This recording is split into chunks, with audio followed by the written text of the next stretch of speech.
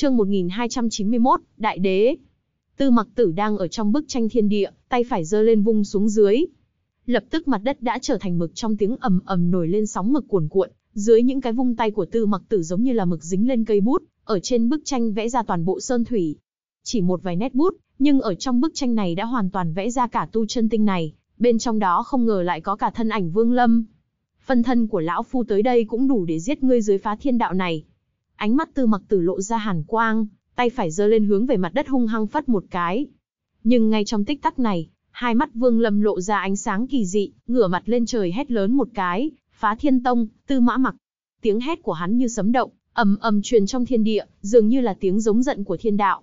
Cánh tay phải của tư mặc tử đang giơ lên trong nháy mắt run lên một chút. Hắn ngẩng mạnh đầu nhìn chằm chằm vào Vương Lâm.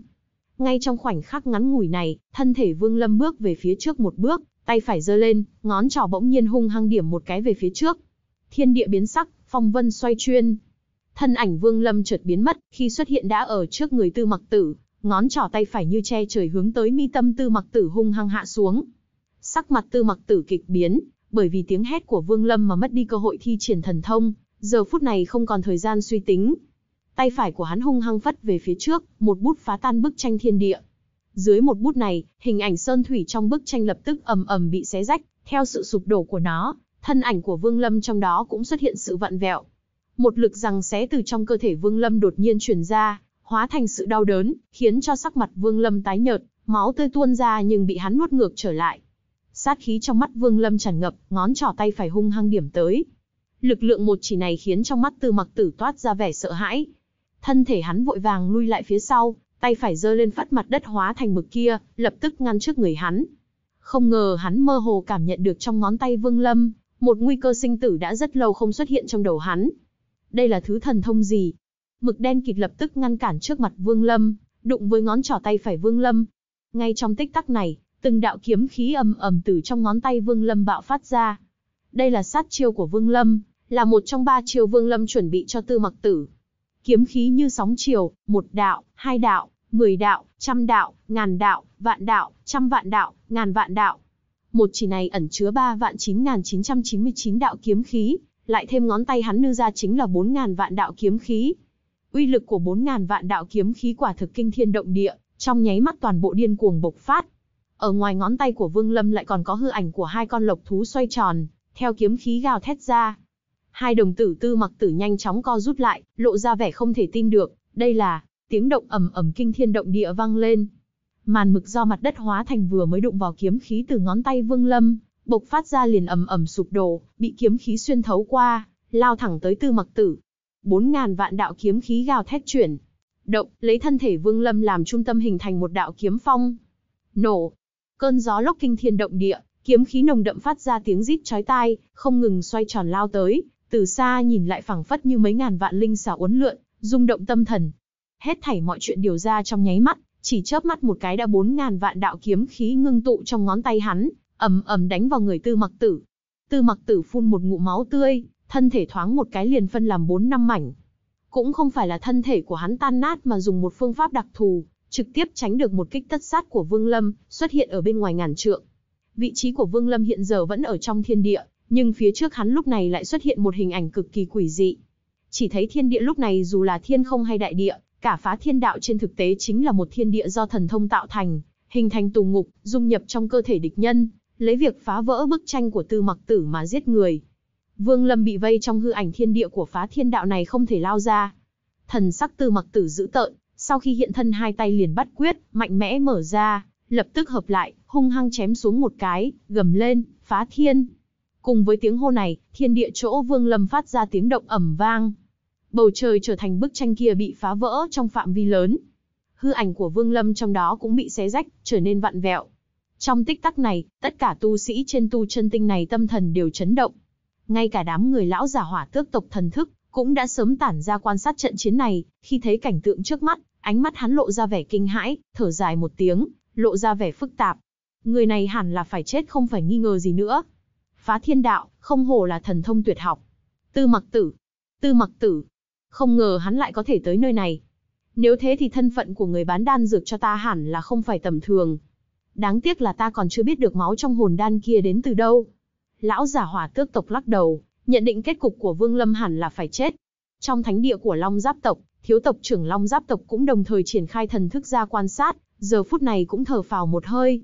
Người này rất mạnh, đáng tiếc là dưới thần thông của Tư Mặc Tử không thể thoát vây. Phá thiên đạo này cũng thật quá đáng sợ, có thể phá tan bầu trời. Trong thánh địa của Long Giáp tộc, tộc trưởng Long Giáp tộc cũng thu hồi ánh mắt nhìn về bầu trời, thần sắc trở nên thoải mái hơn nhiều. Không biết tự lượng sức, Tư Mặc Tử là tu sĩ bước thứ ba, mặc dù là phân thân tới đây cũng không phải là người bình thường có thể đối kháng. Người này có thể giết được trưởng lão thiểm lôi tộc nhưng ở trong tay Tư Mặc Tử, thì chẳng thể có một chút sinh cơ. Nhưng hắn có thể khiến Tư Mặc Tử bị thương cũng không đơn giản. Cũng may là hắn không còn sống, nếu không thì hắn tìm Long Giáp tộc ta trả thù vì chúng ta đã giúp Tư Mặc Tử, thì đúng là phiền toái. Nhưng ngay lúc tất cả mọi người nhận định là Vương Lâm, nhất định sẽ chết trong thiên địa do phá thiên đạo, biến thành kia thì dị biến phát sinh.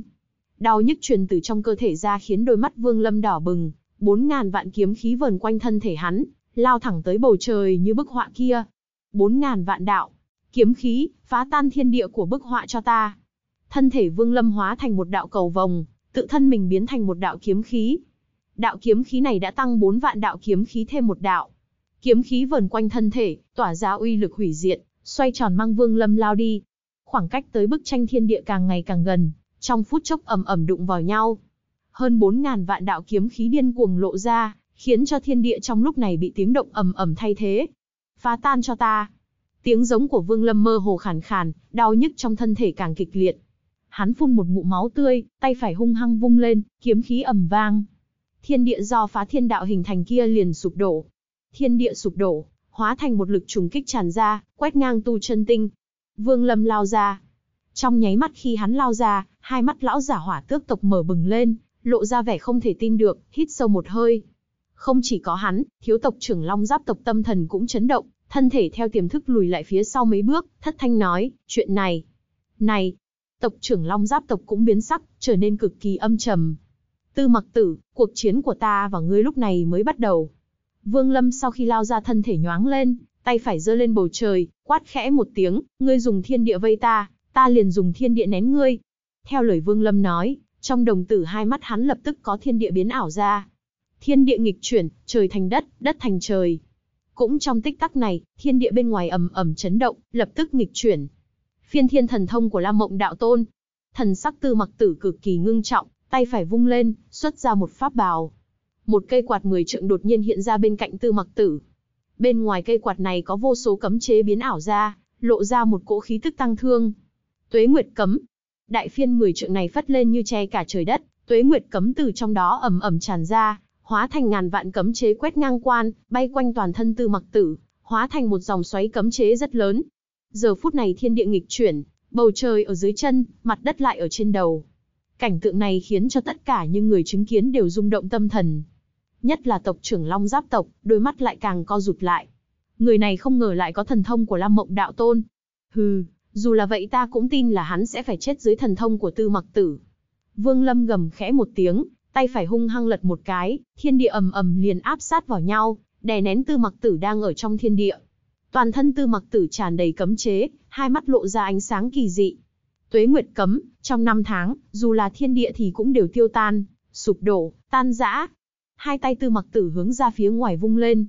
Lập tức cấm chế bốn phía ầm ầm tản ra, hướng về bên ngoài quét tới, đối kháng với thiên địa. Tiếng chấn động ầm ầm vang lên, thiên địa dưới lực trùng kích của Tuế Nguyệt cấm dường như bị năm tháng tràn ngập, tỏa ra vẻ thê lương, không ngờ mơ hồ xuất hiện dấu hiệu sụp đổ. Tuế Nguyệt cấm thuật, Thiên Hoang Địa Lão. Tiếng nói điên cuồng của Tư Mặc Tử truyền ra. Đồng tử hai mắt Vương Lâm có rút lại, đang muốn thi triển thần thông thì lúc này, đột nhiên có một tiếng cười khẽ từ hư vô truyền tới. Tiếng cười này rất nhỏ nhưng lại truyền rõ ràng vào. Trong tai tất cả sinh linh trên tu chân tinh này. Có ý tứ, trong vòng 5 nhịp thở có thể chiến thắng phân thân của người bước thứ ba này, thì ta đảm bảo cho ngươi ở vùng đất điên lạc, này bình an. Đại đế, trong thánh địa của Long Giáp tộc, trưởng lão thứ 9 của Lạc Sinh hội sắc mặt đại biến, thất thanh cả kinh nói. Tư Mặc Tử cũng đồng thời biến sắc, vẻ mặt vô cùng hoảng hốt. Một, tiếng nói truyền từ hư vô kia bắt đầu đếm. Chương 1292, bốn nhịp thở. năm nhịp thở.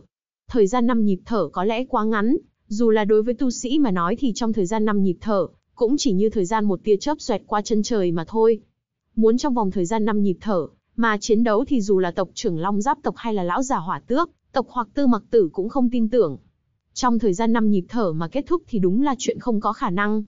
Dù sao thì Vương Lâm đối đầu cũng là tư mặc tử.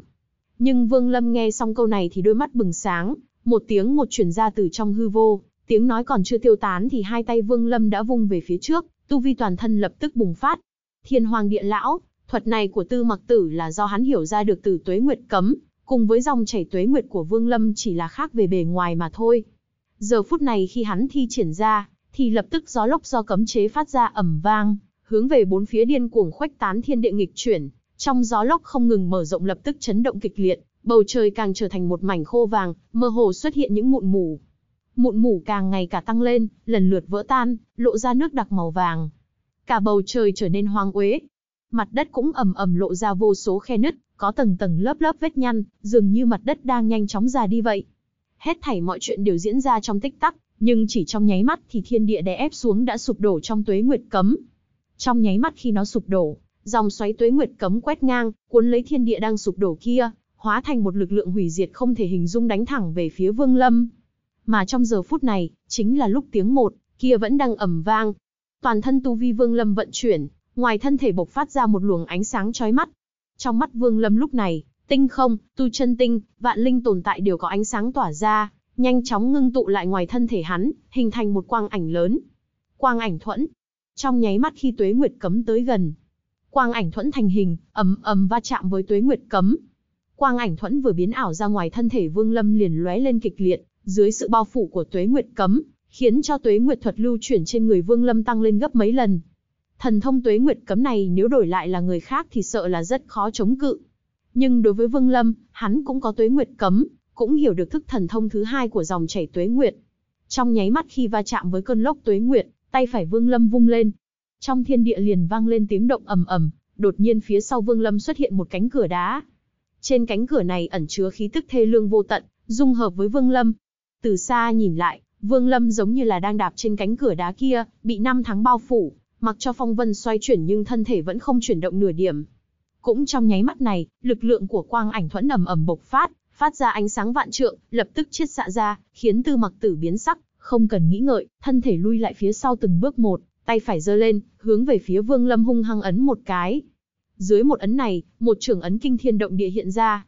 Trưởng ấn này ẩn chứa toàn bộ lực lượng của thiên nhân đệ ngũ suy, mang theo toàn bộ lực lượng và cuồn cuộn. Sát cơ ầm ầm phá tan tuế nguyệt cấm đang vườn quanh quang ảnh thuẫn, đánh thẳng lên quang ảnh thuẫn. Những tiếng chấn động vang lên kinh thiên, kịch liệt truyền ra bốn phương tám hướng, Quang ảnh thuẫn run rẩy, nhanh chóng sụp đổ. Nhưng trong nháy mắt khi nó sụp đổ, tiếng gầm nhẹ của Vương Lâm truyền ra, lại một lần nữa hình thành quang ảnh thuẫn. Cứ lặp đi lặp lại như vậy, trong thời gian ngắn ngủi một hơi thở, quang ảnh thuẫn đã xuất hiện ba lần. Sau ba lần xuất hiện rồi sụp đổ, cũng khiến cho lực lượng của trường kia vào lực lượng tuế nguyệt, chỉ ép xạ ra hơn phân nửa, hóa thành một lực trùng kích đánh tới tư mặc tử. Hai, Tiếng nói từ trong hư vô lại vang lên một lần nữa. Chỉ còn lại ba hơi thở, Tất cả những người dùng thần thức chứng kiến trận chiến khoáng thế này, không ai tin rằng Vương Lâm có thể trong vòng ba hơi thở chiến thắng. Trong nháy mắt khi tiếng hai vang lên en, ánh mắt Vương Lâm lóe lên hàn quang. Quang ảnh thuẫn sụp đổ, hắn cũng bị lực trùng kích tấn công, phun một ngụm máu tươi, nhưng lại ngửa mặt lên trời hét lớn một tiếng, trực tiếp phóng về phía trước. Cũng trong nháy mắt lao ra này, Vương Lâm triển khai toàn bộ tốc độ, nhanh tới mức không thể tưởng tượng nổi. Trong tích tắc khi hắn lao ra, mắt phải lóe lên lôi quang, trong đồng tử có ấn ký lôi đình biến ảo ra. Chín đạo ấn ký lôi đình xoay tròn. Hắn lại phát ra tiếng thét dài, khiến lôi đình ầm ầm lao ra, hình thành một lôi đồ lớn vạn trượng trước người hắn. Lôi đồ kinh thiên động địa, bên trong ẩn chứa lôi bổn nguyên dày đặc. Chín đạo lôi đình phát ra tiếng động vang trời, nhất là ba đạo cuối cùng chính là cực kiếp lôi, huyết mạch lôi và nghịch mệnh lôi. Ba đạo lôi đình này bộc phát ra năng lượng vô cùng, khiến cho lôi đồ phát ra quang mang vạn trượng, cũng trong tích tắc này, cả thiên địa đột nhiên xuất hiện vô số ngân xà. Nhưng tia chớp liên tục lóe lên, tràn ngập bầu trời, đồng loạt hướng về phía lôi đồ ngưng tụ. Vạn trượng lôi đồ kinh thiên động địa, sau khi xuất hiện liền theo hai tay Vương Lâm đẩy ra, giống như là một kích của tu sĩ bước thứ ba hướng về phía Tư Mặc Tử tấn công. Lôi đồ tràn ngập thiên địa, lao thẳng tới Tư Mặc Tử. Thần sắc Tư Mặc Tử cực kỳ ngưng trọng. Cả đoạn đường hắn truy kích kiêng kỵ nhất chính là thuật lôi đình của đối phương. Thuật lôi đình này hắn chưa bao giờ gặp qua, chưa từng giao thủ nhưng một màn trên chân ngôn tộc gần đó đã đủ khiến hắn kinh hãi. Giờ phút này khi nhìn thấy lôi đồ lao tới, trong đầu hắn lập tức hiện ra một cảnh tượng chứng kiến đối phương oanh kích trên tu chân tinh của chân ngôn tộc. Hai tay hắn bắt quyết, vung lên một cái, tuế nguyệt cấm lại lần nữa xuất hiện, hóa thành cơn gió lốc tràn ngập bốn phía, bao phủ dày đặc thân ảnh hắn. Để xem uy lực lôi đình của ngươi mạnh mẽ hay là tuế nguyệt của lão phu lợi hại. Tốc độ Vương Lâm như chớp, trong lúc cất bước thôi động lôi đồ, lại càng hấp thu rất nhiều tia chớp trong thiên địa, dường như đã trở thành thiên lôi, hóa thành một đạo lôi đình bất diệt từ vạn cổ, lấy một phương thức như thiên kiếp đánh thẳng tới Tư Mặc Tử. Khoảng cách giữa hai người càng ngày càng gần, trong thời gian ngắn tiếng nói từ hư vô kia lại một lần nữa vang lên. Ba. Trong nháy mắt khi tiếng ba này vang lên, toàn thân Vương Lâm đã hòa hợp với lôi đồ vạn trượng, thân ảnh hắn biến mất, cùng với lôi đình không hề phân biệt được nữa, đánh thẳng vào trong gió lốc do tuế nguyệt cấm của Tư. Mặc Tử biến thành. Tiếng ầm ầm vang lên khắp thiên địa, hướng về bốn phía xa xa truyền đi. Trong lực lượng trùng kích kịch liệt này, gió lốc tạo thành từ cấm chế của Tư Mặc Tử ầm ầm chấn động, trong tiếng băng băng liền lập tức sụp đổ, dường như là một lực lượng mạnh mẽ xé tan, để lôi đình đánh thẳng vào Tư Mặc Tử. Cũng trong lôi đình này cuốn tới, lôi đồ cũng tiến tới gần. Hết thảy mọi chuyện xảy ra quá nhanh, chỉ trong nháy mắt. Lôi đồ nọ lập tức đánh thẳng vào ngực Tư Mặc Tử, sắc mặt hắn nhất thời biến đổi, máu tươi không áp chế được liền phun ra, thân thể lui lại phía sau. Ở ngực hắn, tia chớp tràn ngập, phát ra tiếng loẹt xoẹt, khiến cho cơ thể Tư Mặc Tử trong khi lui lại thương thế lại càng nặng hơn.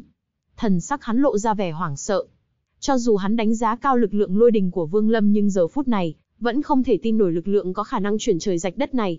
Tuế Nguyệt cấm trước mặt lôi đình này đều tan nát.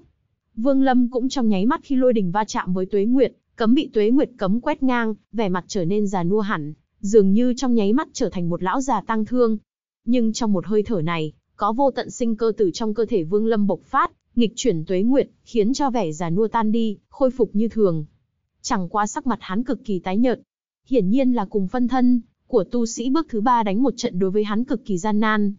Mắt thấy Tư Mặc Tử lui lại phía sau, hàn quang trong mắt Vương Lâm lóe lên, sát khí tỏa ra ngập trời, thân thể tiến về phía trước, đang muốn truy kích. Nhưng đúng lúc này, tiếng nói từ trong hư vô lại truyền tới vang lên quanh quẩn. 4. Tiếng nói kia còn chưa kết thúc, Vương Lâm đã thét lên một tiếng cắt đứt, tốc độ như một đạo cầu vòng cắt ngang trời, ầm ầm đuổi theo Tư Mặc Tử, hai tay vung mạnh về phía trước, Lập tức có một viên đan dược màu vàng chừng cái móng tay từ trong hư vô xuất hiện, hướng về Tư Mặc Tử với tốc độ không thể tưởng tượng nổi, trong chớp mắt đã chỉ còn cách người hắn không tới 10 trượng. Nổ! Không đợi cho đan dược này tới gần thêm, Vương Lâm không chút do dự gầm lên. Theo tiếng hô lớn này, một tiếng ầm vang chấn động thiên địa vang lên. Tiếng động này dường như là cả một tu chân tinh nổ tung, hóa thành sóng âm khôn cùng, cũng bộc phát ra một lực lượng hủy diệt. Tư Mặc tự ở khoảng cách quá gần, trong lúc đan dược nổ tung liền phun ra một ngụm máu tươi, ánh mắt lộ vẻ hoảng sợ.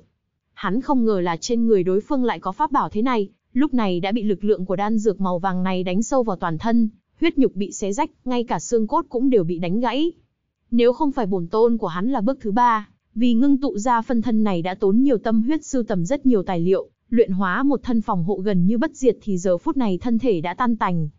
Phân thân này là khi tư mặc tử, phát hiện ra tu vi bị đình trệ ở không nhất sơ kỳ không thể tiến lên, không có nhiều đạo linh, nên mới luyện hóa ra, để cho phân thân đạt tới bước thứ ba, có thể đề cao thần thông bản thân. Giờ phút này lực lượng bạo tạc của đan dược đánh sâu vào phân thân, trong nháy mắt bị cuốn về phía sau. Lúc này Vương Lâm đã cất bước đi tới, vung tay lên. Viêm hỏa dị tinh bị áp xúc vô số lần liền lóe ra. Nổ! Vương Lâm chẳng chút do dự, ngay khi viêm hỏa dị tinh tới gần tư mặc tử. Liền ầm một tiếng như đan dược màu vàng kia, nổ tung, tỏa ra lực lượng hủy diệt lần thứ hai. Mọi chuyện nói ra thì dài nhưng trên thực tế lại chỉ xảy ra trong nháy mắt. Không tốt. Tộc trưởng Long Giáp tộc đang dùng thần thức quan sát trận chiến không chớp mắt, khi nhìn thấy cảnh tượng này thần sắc ầm ầm đại biến. Chương 1293, Thiếu đế. Đan dược kia nổ tung dư âm vẫn còn, thì tiếng ầm vang lại ù ù dựng lên trong thiên địa. Tư Mặc Tử bị lực trùng kích gây thương tích, máu phun đầy miệng, giờ phút này đồng tử hai mắt có rút lại, vẻ sợ hãi chưa từng có bao trùm toàn bộ hai mắt. Hắn điên cuồng lui lại phía sau, một nguy cơ tử vong ầm ầm phủ xuống, dường như hóa thành một áp lực vô hình muốn nghiền nát toàn thân hắn. Viêm hỏa dị tinh nổ tung so với băng long đan còn kịch liệt hơn. Nó ẩn chứa hỏa diễm của thiên địa, dưới sự khống chế của Vương Lâm lại bị đè ép vô số lần, hình thành một lực lượng có thể uy hiếp sinh tử tu sĩ thiên nhân đệ ngũ suy. Thân thể Tư Mặc Tử bị thương, hầu như chỉ trong nháy mắt khi hắn lùi lại thì tiếng hô nổ, kinh thiên động địa của Vương Lâm lại vang lên. Viêm hỏa dị tinh kia chợt tỏa ra ánh sáng chói mắt. Ánh sáng này trong nháy mắt bao phủ toàn bộ tu chân tinh, phủ khắp thiên địa. Tư Mặc Tử hét thảm một tiếng, toàn thân bị ánh sáng này bao phủ, lập tức bốc cháy. Hỏa diễm của thiên địa này màu lam đậm, không thiêu đốt quần áo, chỉ đốt cháy huyết nhục và nguyên thần. Tiếng thét thê lương thống khổ khiến cho tất cả những người nghe được tâm thần rung động. Nếu chỉ như vậy thì thôi, sau khi nhận hai sát chiêu của Vương Lâm thì Tư Mặc Tử mới trọng thương, nhưng vẫn chưa tử vong, chẳng qua là hai mắt tan rã, lộ ra vẻ sợ hãi chưa từng có, trong đầu chỉ có một ý niệm duy nhất. Đó là trốn, trốn, trốn. Nhưng ngay trong nháy mắt lúc ý niệm này, nổi lên trong đầu thì trong ánh lửa lại tràn ngập huyết sắc, giống như máu tươi tràn ngập đất trời. Cùng lúc đó có một tiếng kiếm reo vang khắp thiên địa, trong thời gian ngắn, từ trong huyết quang bay ra một thanh đoạn kiếm lao thẳng tới Tư Mặc Tử. Tốc độ đoạn kiếm này cực nhanh, mắt thường không thể nhận ra, dù là thần thức cũng không thể tập trung. Tốc độ của nó dường như thoát ly quy tắc của thiên địa, đột nhiên tới gần Tư Mặc Tử. Tư Mặc Tử đã bị trọng thương căn bản không thể né tránh. ầm một tiếng, thanh huyết kiếm xuyên thấu qua ngực hắn. Máu tươi đồng thời phun ra từ phía trước lẫn phía sau Tư Mặc Tử. Trong cơ thể hắn có tiếng băng băng không ngừng xuất hiện, tuy vậy vẫn chưa tử vong mà vội vã lùi lại phía sau. Phân thân của Tư Mặc Tử dù sao cũng là thiên nhân đệ ngũ suy, không thể dễ dàng bị giết chết như vậy. Toàn bộ những gì Vương Lâm vì một trận chiến với Tư Mặc Tử, mà chuẩn bị là băng long đan, viêm hỏa dị tinh, ngàn vạn đạo kiếm khí, ngay tại thời khắc mấu chốt nhất xuất huyết kiếm. Trong thời gian ngắn ngủi này, Vương Lâm đã triển khai toàn bộ thần thông, cuối cùng vẫn không thể giết chết tu sĩ thiên nhân đệ ngũ suy. Nhưng có thể khiến hắn trọng thương tới mức này thì Vương Lâm đủ để vang danh giới ngoại. Phải biết rằng hiện tại hắn mới chỉ có một đạo bổn nguyên đại thành. Nếu tới đạo thứ hai, thứ ba, thứ tư, thứ năm đại thành mà nói thì lúc đó Vương Lâm dù không mở ra không môn, cũng có thể liều mạng với tu sĩ bước thứ ba. Chứng kiến Tư Mặc Tử vẫn chưa tử vong, thần sắc Vương Lâm âm trầm, thân thể trước tiếp bước nửa bước, tay phải giơ liên điểm một chỉ lên không, thi triển thần thông đuổi giết. Nhưng vào lúc này, tiếng nói từ trong hư vô truyền ra vang vọng, vùng đất điên lạc, có phải là chỗ ngươi muốn đến thì đến, muốn đi thì đi đâu? Trong khi lời nói này vang lên, Tư Mặc Tử đã trốn tới chân trời, bên ngoài thân thể đã xuất hiện gợn sóng, sắp sửa hoàn toàn thuấn di, mà đi. Nhưng vào lúc này, trên bầu trời đột nhiên xuất hiện một mảnh vạn vẹo. Một luồng sóng không khí vô hình bỗng dựng lên, hình thành một dòng xoáy khổng lồ. Ngay trong nháy mắt khi thân thể tư mặc tử sắp tiêu tan, từ giữa dòng xoáy mênh mông trong không trung, một ngón tay ầm ầm xuyên ra, hướng về phía tư mặc tử hung hăng điểm một cái. Ngón tay này quá lớn, dường như có thể chống trời, do sóng không khí tạo thành, từ xa nhìn lại phẳng phất trong suốt, không khác gì bầu trời. Giờ phút này nó điểm xuống với tốc độ không thể hình dung nổi, ầm ầm một cái đã tới nơi, dường như muốn đem mặt đất phía dưới đục thủng, muốn phá nát cả tinh không vậy. Vương Lâm cau mày. Hồi lâu sau hắn thở dài một tiếng, vung tay áo thu ngân y nữ tử vào trong không gian chữ vật một lần nữa. Việc này đối với ta mà nói quá mức khó lường, nghĩ nhiều cũng vô dụng. Lúc này tốt nhất là luyện hóa pháp bảo của tham lang trước, lấy việc thu bổn nguyên của hỏa tước tộc làm trọng. Vương Lâm trầm mặc nửa ngày, không suy tư tới những chuyện liên quan tới pho tượng nữa, mà xuất hết pháp bảo của tham lang ra, bắt đầu tế luyện và nghiên cứu một lần nữa. 99 thanh phi kiếm là, tham lang lấy được ở bên cạnh một cái đầu lâu trong cổ mộ. Hắn nhớ là trong mắt đầu lâu kia không có tinh điểm. 99 thanh phi kiếm bên ngoài cái đầu lâu này đều nhiễm máu tươi, hợp thành một kiếm trận. Vương Lâm vung tay phải lên. 99 thanh kiếm này liền vờn quanh thân thể hắn, mỗi một thanh đều tràn ngập hàn khí. Đôi mắt Vương Lâm lóe sáng, thần thức tràn ra, cẩn thận đảo qua 99 thanh kiếm này. Đích xác là bảo vật của bộ tộc cổ yêu, bên trong có yêu khí nồng đậm. Trong tay ta có lẽ không thể phát huy được uy lực lớn nhất, nhưng nếu để cho phân thân thứ hai của ta đại thành, thì phân thân cổ yêu đó cầm kiếm này uy lực tất nhiên là bất phàm. Bảo vật này lưu lại hay luyện hóa đây? Vương Lâm hơi trầm ngâm tay phải lại vung lên. 99 thanh kiếm này được hắn để lại lạc ấn, và cấm chế xong lại một lần nữa được thu vào trong túi trữ vật. Nếu luyện hóa thì yêu khí trong đó sẽ tiêu tán một cách lãng phí. Cứ lưu lại đợi tới khi trở về giới nội, đưa cho phân thân thứ hai của ta hấp thu. Đáng tiếc là do phong giới đại trận khiến ta không thể liên lạc được với phân thân. Nếu không thì ta cũng có thể tự chuyển hóa được. Không biết những năm gần đây phân thân thứ hai thế nào? Vương Lâm trầm mặc, lại xuất ra một kiện pháp bảo. Đó là hộ cốt thạch bi. Chín tấm bia đá bay xung quanh, tỏa ra từng luồng khí tức quen thuộc đối với Vương Lâm. Đây là khí tức của cổ thần, Phân thân của Tư Mặc Tử dù là trọng thương nhưng có thể dùng một chỉ giết chết, tu vi đại đế nọ tuyệt đối hơn hẳn Thủy đạo tử một bậc, không biết so với Lam Mộng đạo tôn thì ra sao. Mà người này rõ ràng là đang giúp mình. Ánh mắt Vương Lâm âm thầm lóe lên. Vốn hắn đã muốn rời đi. Dù sao thì thương thế trong cơ thể hắn cần lập tức chữa trị. Nhưng khi ánh mắt Vương Lâm rơi lên tu chân tinh này thì trong nháy mắt liền có hàn quang lóe lên. Trưởng lão thứ 9 của Lạc Sinh hội, có gan giúp Tư Mặc Tử, đối chính là đối địch với ta. Trưởng lão thứ 9, ta hiện giờ muốn thử xem kẻ dưới của đại đế thế nào. Tính cách của Vương Lâm có thủ tất báo. Hắn không đi trêu chọc vào người khác, nhưng một khi có người chủ động chọc vào hắn thì Vương Lâm rất ít khi bỏ qua. Giờ phút này hắn hừ lạnh một tiếng, thân thể khẽ chuyển, hướng về phía Long Giáp tộc bay nhanh đi. Tốc độ của hắn cực nhanh, như cầu vòng ngang trời, hóa thành những tiếng nổ ầm ầm, khiến cho toàn bộ tu sĩ trên tu chân tình này sắc mặt đại biến, mà sau khi thấy trận chiến giữa Vương Lâm và Tư Mặc Tử, thì chẳng có ai dám tiến lên ngăn cản. Thiếu tộc trưởng Long Giáp tộc sắc mặt trắng bệch, theo tiềm thức lui lại phía sau vài bước, thất thanh nói, phụ tôn, hắn, hắn. Tâm thần tộc trưởng Long Giáp tộc cũng chấn động một cái, âm thầm kêu khổ. Hắn không ngờ là đối phương thực sự có dũng khí tới tìm mình gây phiền toái. Giờ phút này tuy rằng tâm thần chấn động nhưng khi nghĩ tới thương thế của đối phương, thì thần sắc liền lộ vẻ dữ tợn. Tất cả tộc nhân bước thứ hai của Long Giáp tộc, ngăn cản tất cả ngoại nhân tiến vào Long Giáp tộc nửa bước. Tiếng nói ầm vang truyền ra. Lập tức khí tức của Long Giáp tộc ầm ầm bốc lên, có gần 10 tu sĩ bước thứ hai bay ra, tâm thần khẩn trương đang muốn ngăn cản. Nhưng trong lúc này thiên địa ầm vang, lôi đình như lưu tinh giáng xuống. Vương Lâm bước nửa bước hiện ra, thân hình xuất hiện trên bầu trời Long Giáp tộc. Trong nháy mắt những tu sĩ bước thứ hai vừa vọt lên, tay phải Vương Lâm giơ lên rồi nhấn xuống phía dưới một cái. Cút ngay cho ta. Giọng nói lạnh như băng vang lên kinh thiên động địa. Theo trưởng ấn của Vương Lâm hạ xuống, thiên địa chấn động. Một trưởng ấn khổng lồ liền biến ảo ra hướng về phía dưới điên cuồng đánh sâu xuống. Gần 10 tu sĩ bước thứ hai của Long Giáp tộc, đụng vào trường ấn kia lập tức phun máu tươi, có ba người thân thể lập tức tan nát. Không thể ngăn cản nửa điểm, tùy ý để trường ấn kia xuyên thấu, ầm một tiếng đánh lên mặt đất, khiến cho mặt đất chấn động kịch liệt, cả vùng đất của Long Giáp tộc lập tức sụp đổ. Chỉ là một tiểu tộc mà dám bày mưu với Vương Mỗ, đúng là đi tìm chết. Vương Lâm vừa cười lạnh, thân thể vừa hạ xuống, ánh mắt như đuốc rơi vào người hai phụ tử tộc trưởng Long Giáp tộc, sắc mặt đang tái nhợt. Ánh mắt tộc trưởng Long Giáp tộc lộ ra vẻ kinh hãi. Hắn không thể ngờ nổi là Vương Lâm, dù bị thương mà vẫn có lực lượng mạnh mẽ tới vậy. Một trưởng vừa rồi hắn không có tự tin có thể tiếp nổi. Thần sắc Vương Lâm lạnh như băng, tay phải giơ lên điểm lên bầu trời, lập tức lôi đình ầm ầm ngưng tụ lại. Sắc mặt tộc trưởng Long Giáp tộc đại biến, ôm nhi tử lập tức lùi lại phía sau, quát to, ngươi dám giết ta? Ta chính là trưởng lão thứ chính của Lạc Sinh hội, do chính đại đế tự mình chỉ định. Đừng nói là giết ta, dù là làm bị thương ta thì đại đế nhất định sẽ băm thay ngươi làm vạn đoạn. Đúng lúc này, thì đột nhiên từ xa xa trong thiên địa có một đạo kiếm quang gào thét lao tới. Kiếm quang kinh thiên, từ xa nhìn lại như một đạo cầu vòng che trời, trong nháy mắt đã tới nơi này.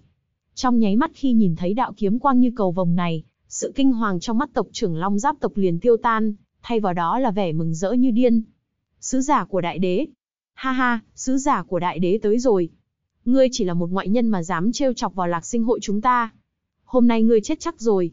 Không chỉ có hắn mà ngay cả thiếu tộc trưởng Long Giáp tộc cũng lộ vẻ vui mừng, thở phào một hơi, sắc mặt rất thoải mái.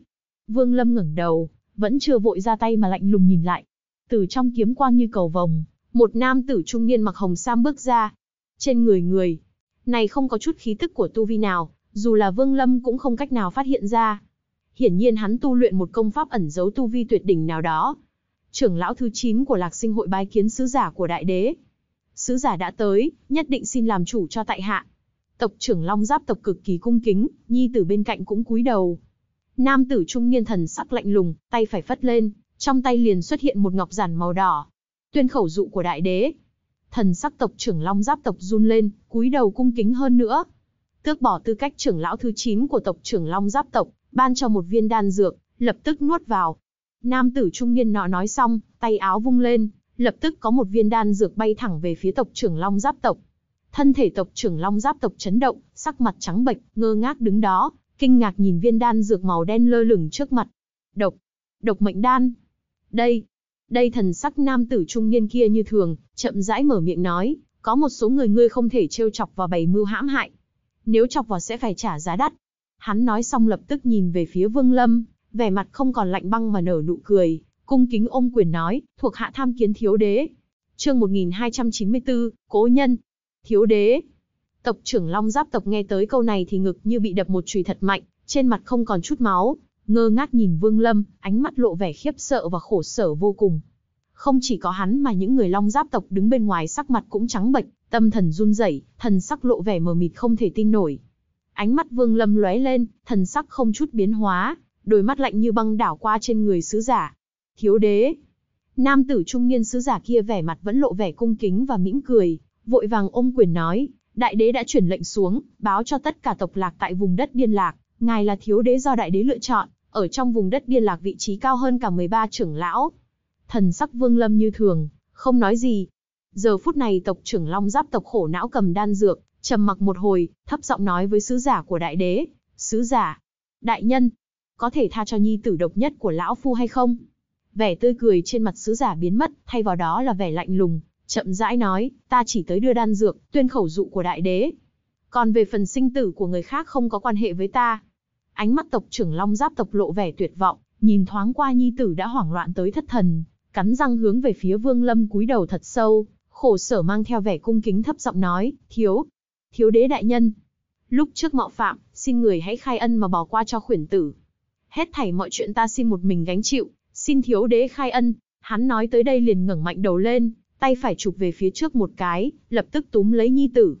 Thiếu tộc trưởng Long Giáp tộc đang sừng sốt thì đột nhiên kêu lên thảm thiết, đã bị nguyên lực của tộc trưởng Long Giáp tộc ầm ầm chảy vào trong cơ thể hắn, thế như trẻ tre, vang lên những tiếng băng băng kinh thiên động địa, trực tiếp phế bỏ kinh mạch toàn thân hắn, đánh nát nguyên thần, khiến cho tu vi hắn trong nháy mắt mất sạch, biến thành con người. Sự đau đớn từ trong cơ thể thiếu tộc trưởng Long Giáp tộc điên cuồng truyền ra, khiến hắn phun máu tươi, sắc mặt như cho tàn. Thiên địa bên ngoài cơ thể hắn vặn vẹo, dường như có một luồng khí tức từ trong cơ thể hắn không ngừng tràn ra, cuối cùng dưới nỗi đau quá lớn mà hôn mê đi. Thiếu đế, khuyển tử giờ đã mất tất cả tu vi, từ nay về sau không còn tu luyện được nữa, lại càng không thể uy hiếp gì tới thiếu đế.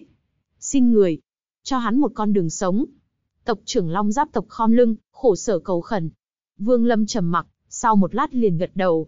Tộc trưởng Long Giáp tộc lộ vẻ cảm kích, tay phải vung lên một cái, đem nhi tử đã hôn mê tới một vùng đất an toàn, hít sâu một hơi, cầm đan dược không chút do dự nuốt vào. Đan dược này vừa vào miệng liền lập tức hóa thành một luồng hỏa diễm màu đen tự động chui vào trong cơ thể hắn. Ngọn lửa màu đen này lộ ra vẻ yêu dị, ở trong cơ thể điên cuồng bốc cháy. Chỉ trong thời gian ngắn, nó đã thiêu dụi nguyên thần và toàn thân huyết nhục xương cốt của hắn. Từ bên ngoài nhìn vào, toàn thân tộc trưởng Long Giáp tộc đỏ bừng, lộ ra màu đen. Ngọn lửa màu đen từ mỗi một lỗ chân lông bộc phát ra, khiến cho cả người hắn hóa thành một hỏa cầu màu đen. Sau khi ngọn lửa tiêu tan đi thì ngay cả một chút cặn bã cũng chẳng còn. Đây là thứ lửa gì? Đồng tử hai mắt Vương Lâm có rút lại.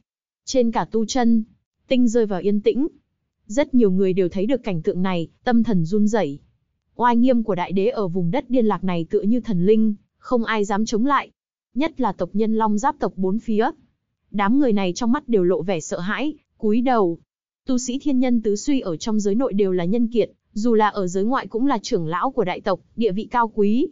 Thế nhưng ở trong vùng đất điên lạc này thì chỉ cần khẩu dụ của một người là, không dám phản kháng chút nào, nuốt độc đan mà chết.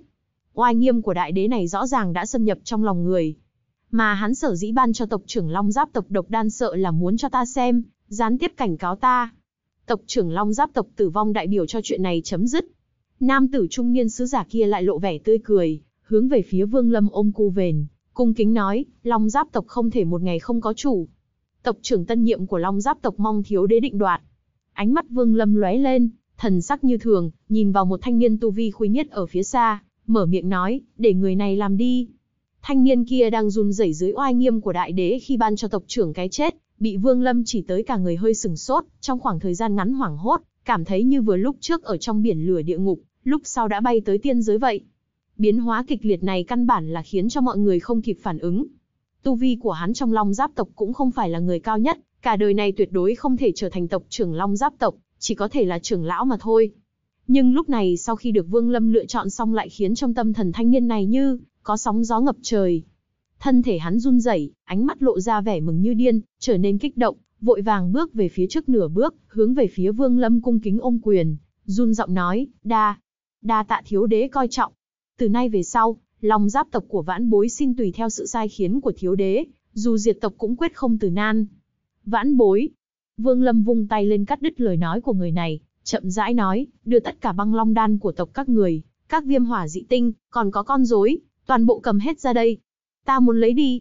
Thanh niên kia vội vàng vâng dạ, đừng nói là giờ Vương Lâm bảo hắn lấy những bảo vật đó ra, dù là Vương Lâm có muốn nguyên thần của tộc nhân Long Giáp tộc, thì hắn cũng không chút do dự đi lấy, có thể trở thành tộc trưởng Long Giáp tộc, đối với thanh niên này mà nói thật sự là may mắn quá lớn lao. Lúc này hắn đã sớm quên mất chuyện tộc trưởng tiền nhiệm chết ra sao, trong lòng đang đắm chìm vào trong hưng phấn và kích động, rất muốn nịnh nọt Vương Lâm.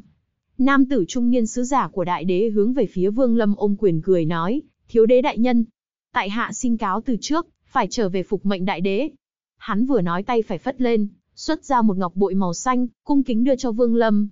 Thiếu đế đại nhân, ngọc bội này là của đại đế sai ta đưa tới, đại biểu cho thân phận của ngài.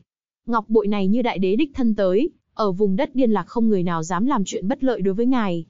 Đại đế còn nói sau 3 tháng nữa sẽ là ngày tuyển chọn trưởng lão lạc sinh hội, người muốn ngài tới dự. Sứ giả sau khi đưa ngọc bội xong liền ôm quyền cung kính rời đi, hóa thành một đạo cầu vòng biến mất. Phía xa xa trong thiên địa, Vương Lâm cầm ngọc bội, cẩn thận quan sát. Ngọc bội này chất liệu tầm thường, bên ngoài chỉ có một chữ đế. Nét bút của chữ này đơn giản, giống như là liên tục ấn xuống, lộ ra một hơi thở tăng thương, nhưng càng nhìn lại càng cảm thấy trong đó có một luồng lực lượng kỳ dị áp vào mặt.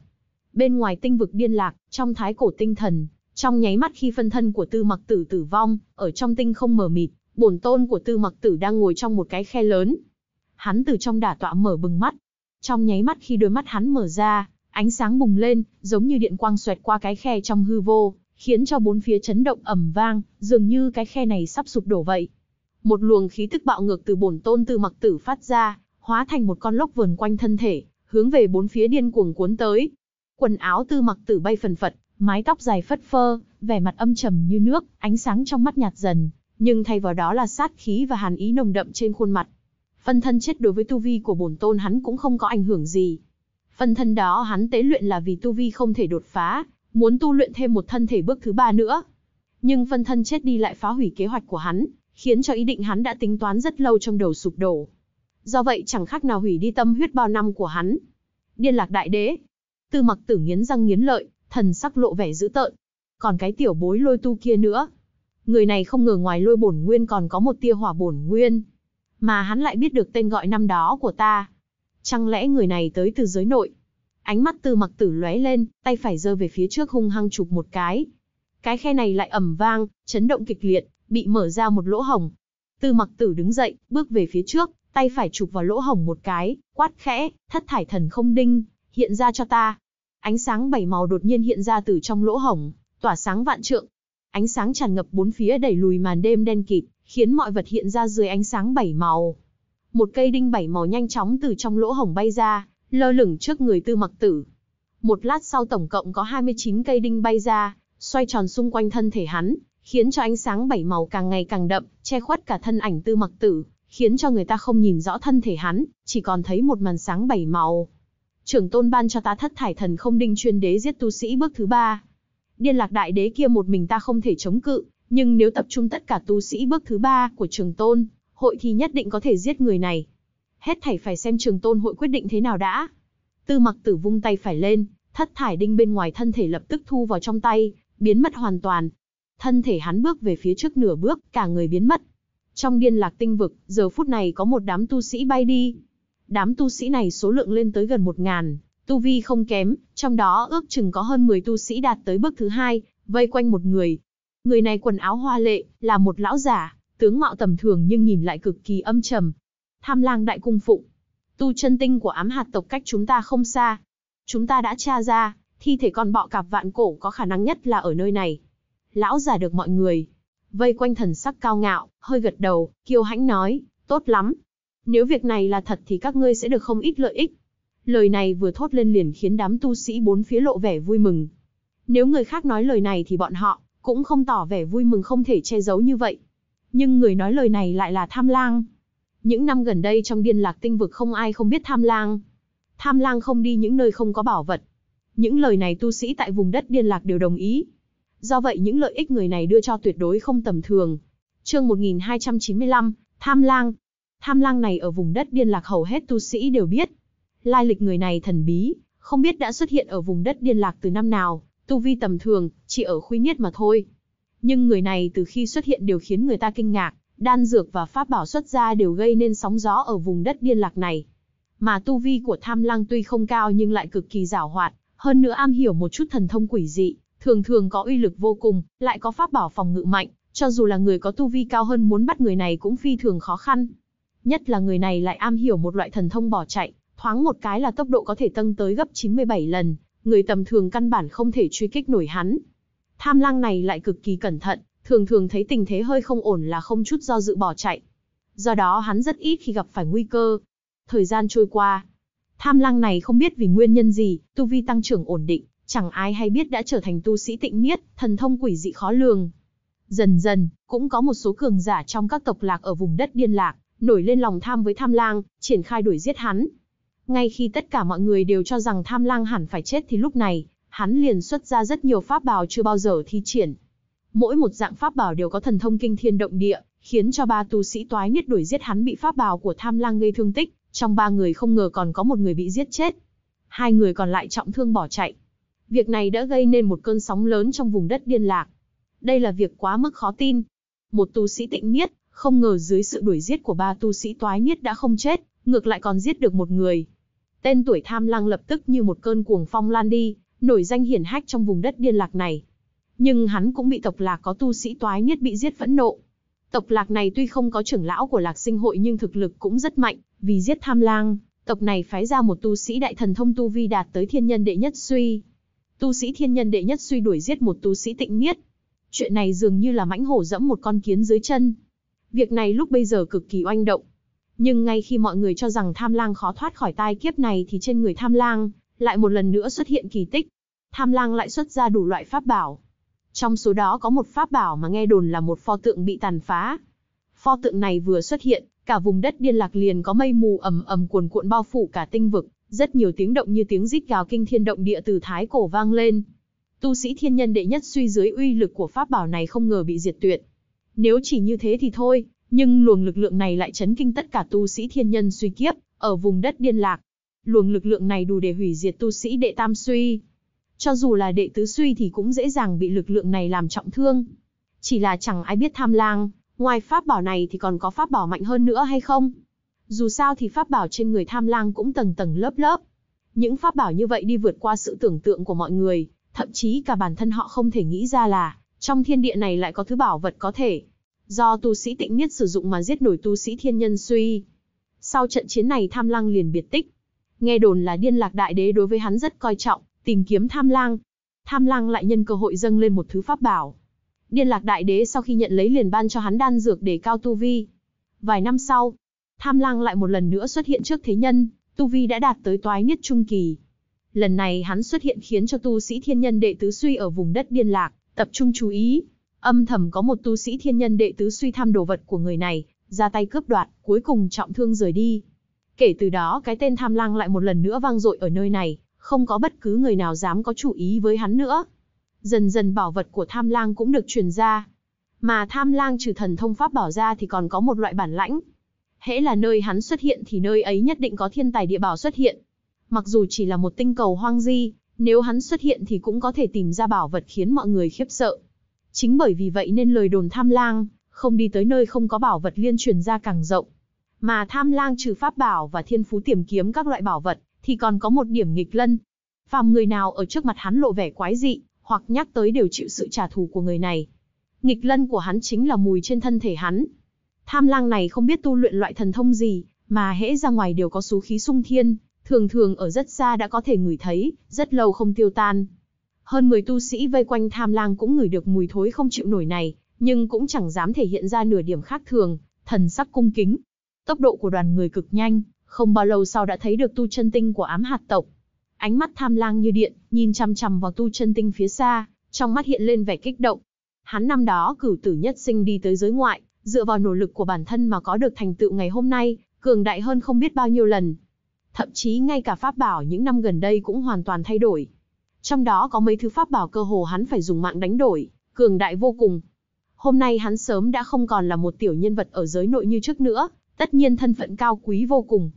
Nhưng làm hắn mất đi một nửa sự hưng phấn chính là, khí thối trên cơ thể giống như bóng ma tràn ngập trong lòng hắn. Chính hắn mặc dù cũng không chịu nổi, Nhưng mỗi khi chứng kiến biểu hiện của những kẻ bên người thì đều nổi giận đùng đùng. Vì để tiêu tan khí thối này hắn đã suy nghĩ rất nhiều biện pháp nhưng mùi thối này, tồn tại trong tận nguyên thần, đã thâm căn cố đế, hoàn toàn hòa hợp, vô luận hắn làm thế nào đi nữa cũng không thể xua tan đi mùi thối này. Loại thống khổ này hành hạ tham lang tới nay, khiến cho hắn đối với đám người vương lâm, thiên vận tử và vọng nguyệt hận tới tận xương tủy. Thiên vận tử, nếu không phải các ngươi năm đó bức ta đi vào La Thiên, thì ta làm sao rơi vào kết cục thê thảm như vậy? Còn có vọng nguyệt, Lào Phu thể nhất định phải băm thay người làm vạn đoạn. Mà trọng yếu nhất là Vương Lâm nọ. Người này, người này chính là khắc tinh của tham lang ta. Hắn đoạt đi tất cả pháp bảo của ta, đại đỉnh na di của ta, thái cổ lôi long của ta, sơn hà đồ của ta, cả tiên sơn trừ hồn và đủ loại pháp bảo mà ta mất mấy vạn năm. Sư tầm đều bị hắn cướp sạch. Mỗi lần nghĩ tới đây tham lang đều đau lòng cực độ. Nhưng đối với Vương Lâm ngoài hận ra thì hắn còn có một bóng ma sợ hãi nồng đậm. Sau mấy lần giao thủ với Vương Lâm, đối với Vương Lâm hắn cực kỳ kiêng kỵ. Loại kiêng kỵ này càng ngày càng tăng lên, đã thành một loại sợ hãi. Dù là tu vi hắn đã được đề cao nhưng sự sợ hãi này, không tiêu tan nửa điểm mà ngược lại càng ngày càng đậm. Hắn tự mình không hiểu nổi nguyên nhân nhưng mỗi lần nghĩ tới Vương Lâm, thì tâm thân hắn lại run lên. Đúng là khắc tinh trong số mệnh. Trên chu tước tinh pháp bảo thiên nghịch ta nhìn chúng, lại bị người này cuối cùng cướp được, ở vùng đất yêu linh rõ ràng tu vi ta cao hơn, hắn mà cuối cùng lại bị hắn cắn nuốt thái cổ lôi long của ta. Thái cổ lôi long đó từ nhỏ đã theo ta lớn lên. Nếu giờ còn nó thì ta có thể hoàn toàn dung hợp, luyện hóa trở thành lôi tu. Mà cũng dưới sự bức bách của đám người thiên vận tử, kích ta vào la thiên tìm người này, cuối cùng lại bị vọng nguyệt chết tiệt nuốt vào chỗ bài tiết, chịu đủ loại hành hạ, lúc này lại gặp phải vương lâm. Hắn cướp đi đại đỉnh, cướp đi sơn hà đồ, cướp đi hết thảy của ta. Tham lang thường xuyên nhớ lại chuyện cũ, cũng nhớ lại những lần gặp vương lâm. Đó chính là nguyên nhân thống khổ của hắn. Bảo vật cả đời hắn sưu tầm cuối cùng lại bị vương lâm năm lần bảy lượt cướp sạch, hơn nữa còn suýt tử vong. Đối với hắn đó chính là một cơn ác mộng. Hôm nay ta đã thay pháp bảo toàn thân, tu vi vượt xa năm đó. Trong pháp bảo còn có những thứ mạnh hơn vô số lần những thứ ta có trước kia. Ta cũng không tin là Vương Lâm, ngươi lại có thể từ giới nội lao đến thái cổ tinh thần, lại tới vùng đất điên lạc này mà đoạt bảo vật của ta. Nếu mà lại còn có chuyện, như thế thì Vương Lâm ngươi đúng thật sự là khắc tinh của tham lang ta rồi. Tham lang cười lạnh. Hắn không nhận thấy là những điều này có thể xảy ra. Theo hắn thấy, căn bản đây là chuyện không tưởng. Vân độn tộc này có bảo vật có thể làm mùi trên thân thể ta tiêu tan. Chẳng qua bảo vật này không thể lấy khỏi vân độn tộc, chỉ có thể trở thành cung phụ của vân độn tộc, từ từ nghiên cứu rõ ràng rồi tính. Đến lúc đó thiên địa bao la, ta tùy ý đi lại, quả quyết sẽ không đụng tới khắc tinh kia nữa. Ý niệm trong đầu tham lăng loạn chuyển, tràn ngập vẫn sự giàu dĩ, nhớ lại cả cuộc đời mình. Hắn buôn bã từ tận đáy lòng. Pháp bảo năm đó của mình. Ôi, khắc tinh, khắc tinh trong số mệnh của mình. Cũng may lão phu đang ở giới ngoại, quả quyết sẽ không đụng phải khắc tinh kia. Nếu không thì toàn thân pháp bảo của ta sẽ lại đổi chủ mất. Sự kiêng kỵ của tham lang đối với Vương Lâm đến từ cơn ác mộng năm đó. Dù giờ phút này tu vi hắn đã cao thì cơn ác mộng vẫn không thể xua tan, mơ hồ vô cùng sợ hãi Vương Lâm. Hắn giống như một cơn chim trúng tên, mặc dù sống sót, mặc dù cường đại lên, thậm chí đứng đầu trong các loại chim thì cảnh tượng bị thương năm đó, vẫn hẳn sâu trong lòng hắn, cả đời không thể tiêu tan. Thậm chí, chỉ cần nghe thấy tiếng dây cung là trong lòng hắn liền run lên. Đây là một khe hở trong đạo tâm. Trừ phi tham lang có thể tự tay giết được Vương Lâm, phá hủy cơn ác mộng này, nếu không cả đời này hắn chỉ như chim sợ cành cong. Chương 1296, chim sợ cành cong. Trong tinh không, Vương Lâm lao vút đi. Hắn rời khỏi tu chân tinh của Long Giáp tộc, lấy đi tất cả tích lũy của tộc này. Hiện giờ trong không gian chữ vật của hắn có rất nhiều băng long đan, và không ít viêm hỏa dị tinh. Vô số con rối, trong đó tu vi cao nhất là một con rối lên tới thiên nhân đệ nhất suy. Đây là toàn bộ tích xúc của Long Giáp tộc, lúc này bị tân tộc trưởng giao ra cả. Trong khi phi hành, ánh mắt Vương Lâm lóe lên, cả đoạn đường Vương Lâm trầm ngâm. Đánh một trận với Tư Mặc Tử. Điên Lạc Đại Đế thần bí đột nhiên xuất hiện, cuối cùng cho hắn một cái danh hiệu thiếu đế. Đại đế nọ rốt cục có quan hệ với Tư Thánh Tông ra sao? Nếu nói có thì hắn là ai? Nếu không thì người này vì mục đích gì lại giúp ta như vậy? Hắn chỉ đưa ta ngọc bội, cũng chưa có ý định gặp mặt ta. Trong chuyện này còn ẩn chứa bí mật gì? Vương Lâm cau mày, tốc độ càng lúc càng nhanh. Người này lúc đầu chỉ nói là ước định trong năm hơi thở. Điều này hoàn toàn nằm trong dự liệu của ta. Dù sao thì ta đánh một trận với Tư Mặc Tử rất có khả năng lôi hắn ra. Tư Mặc Tử vì đuổi giết ta mà tới, dựa theo quy định của vùng đất điên lạc thì nhất định sẽ bị trừng phạt, đuổi khỏi vùng đất điên lạc. Nhưng đại đế này không ngờ lại giết chết phân thân của tư mặc tử. Nếu chỉ là đuổi đi thì còn nói được, nhưng ra tay giết người mà nói, thì không thể nghi ngờ gì nữa đó là biểu thị thái độ. Dù sao thì tư mặc tử cũng là tu sĩ bước thứ ba. Đại đế thể hiện thái độ này chính là cho trường tôn hội xem. Rất hiển nhiên là trong năm hơi thở này đại đế đã thay đổi ý nghĩ. Mới đầu hắn chỉ có ý định đứng nhìn, nhưng cuối cùng lại tự mình tham dự vào. Về chuyện này rốt cục còn có điều gì bí ẩn, khiến hắn phải thay đổi ý nghĩ. Vẻ trầm tư trong ánh mắt Vương Lâm càng dày đặc, đang tiến về phía trước đột nhiên thân thể hắn sững lại. Hắn nghĩ tới một khả năng. Ta có năm đạo bổn nguyên lực. Điên lạc đại đế này tu vi cao thâm, rất có khả năng đã nhìn ra. Hoặc là khi ta thi triển, viêm hỏa dị tinh thì đã lộ ra hỏa bổn nguyên lực. Nếu đại đế này có liên quan tới tứ thánh tông, thì hiển nhiên liếc mắt một cái có thể nhận ra ta là Chu Tước. Có lẽ chính điều này khiến hắn thay đổi ý định. Chẳng qua tất cả đều chỉ là phỏng đoán của ta chưa biết sự thật thế nào. Mà hắn thông qua sứ giả nọ truyền khẩu dụ trừng phạt tộc trưởng Long Giáp tộc, cũng là cảnh cáo ta. Ba tháng sau là lúc lạc sinh hội tuyển trưởng lão, muốn ta tới đó. Việc này hơi quỷ dị. Ba tháng sau mình phải đi một chuyến, xem rốt cục điên lạc đại đế này có mục đích gì. Ánh sáng trong mắt Vương Lâm lóe lên, thu hồi tâm tư, bước về phía trước, thi triển xúc địa thành thốn đi thẳng về phía tu chân tinh của ám hạt tộc. Đoàn người tham lang có tốc độ cực nhanh, khoảng cách tới tu chân tinh của ám hạt tộc đã rất gần. Hơn một ngàn đạo cầu vòng gào thét, tạo nên một cơn sóng gọn, quét ngang qua tạo thành tiếng động kinh thiên, thẳng tới tu chân tinh của ám hạt tộc. Một lát sau, hơn một ngàn đạo cầu vòng này phủ xuông. Mấy trăm tu sĩ đi trước tiến tới như trẻ tre, trực tiếp phá tan tầng cương phong của tu chân tinh, lao thẳng xuống dưới. Tham lang được mọi người vây quanh, thần sắc ngạo nghễ, cất bước đi xuống. Trên tu chân tinh của ám hạt tộc, thiên địa biến sắc, phong vân xoay chuyển en, cả bầu trời dường như bị người ta rạch ra một khe hở lớn, từng đạo kiếm quang từ trong đó gào thét, lao ra. Tất cả tu sĩ trên tu chân tinh này sắc mặt đều đại biến, nhìn bầu trời, khuôn mặt lộ vẻ hoảng sợ. Thiên địa ầm vang. Theo kịch biến trên bầu trời, đại địa run rẩy, dường như dưới uy áp tỏa ra không ngừng của đám tu sĩ mà không thể thừa nhận nổi. Vùng đất mới của ám hạt tộc, bên ngoài động phủ của Vương Lâm. Giờ phút này Trung Đại Hồng đang chắp tay sau lưng, vẻ mặt nghiêm túc hướng về mấy tộc nhân của ám hạt tộc răn dạy. Phía sau Trung Đại Hồng là lào giả họ Trương, thần sắc hơi cung kính, lại có chút tự đắc. Nhất là khi thấy đám tộc nhân ám hạt tộc, tu vi cao thâm dưới sự răn dạy của Trung Đại Hồng đều không dám mở miệng, vẻ mặt nghe lời thì trong lòng hắn lại càng thỏa mãn. Không phải tôi muốn nói các người.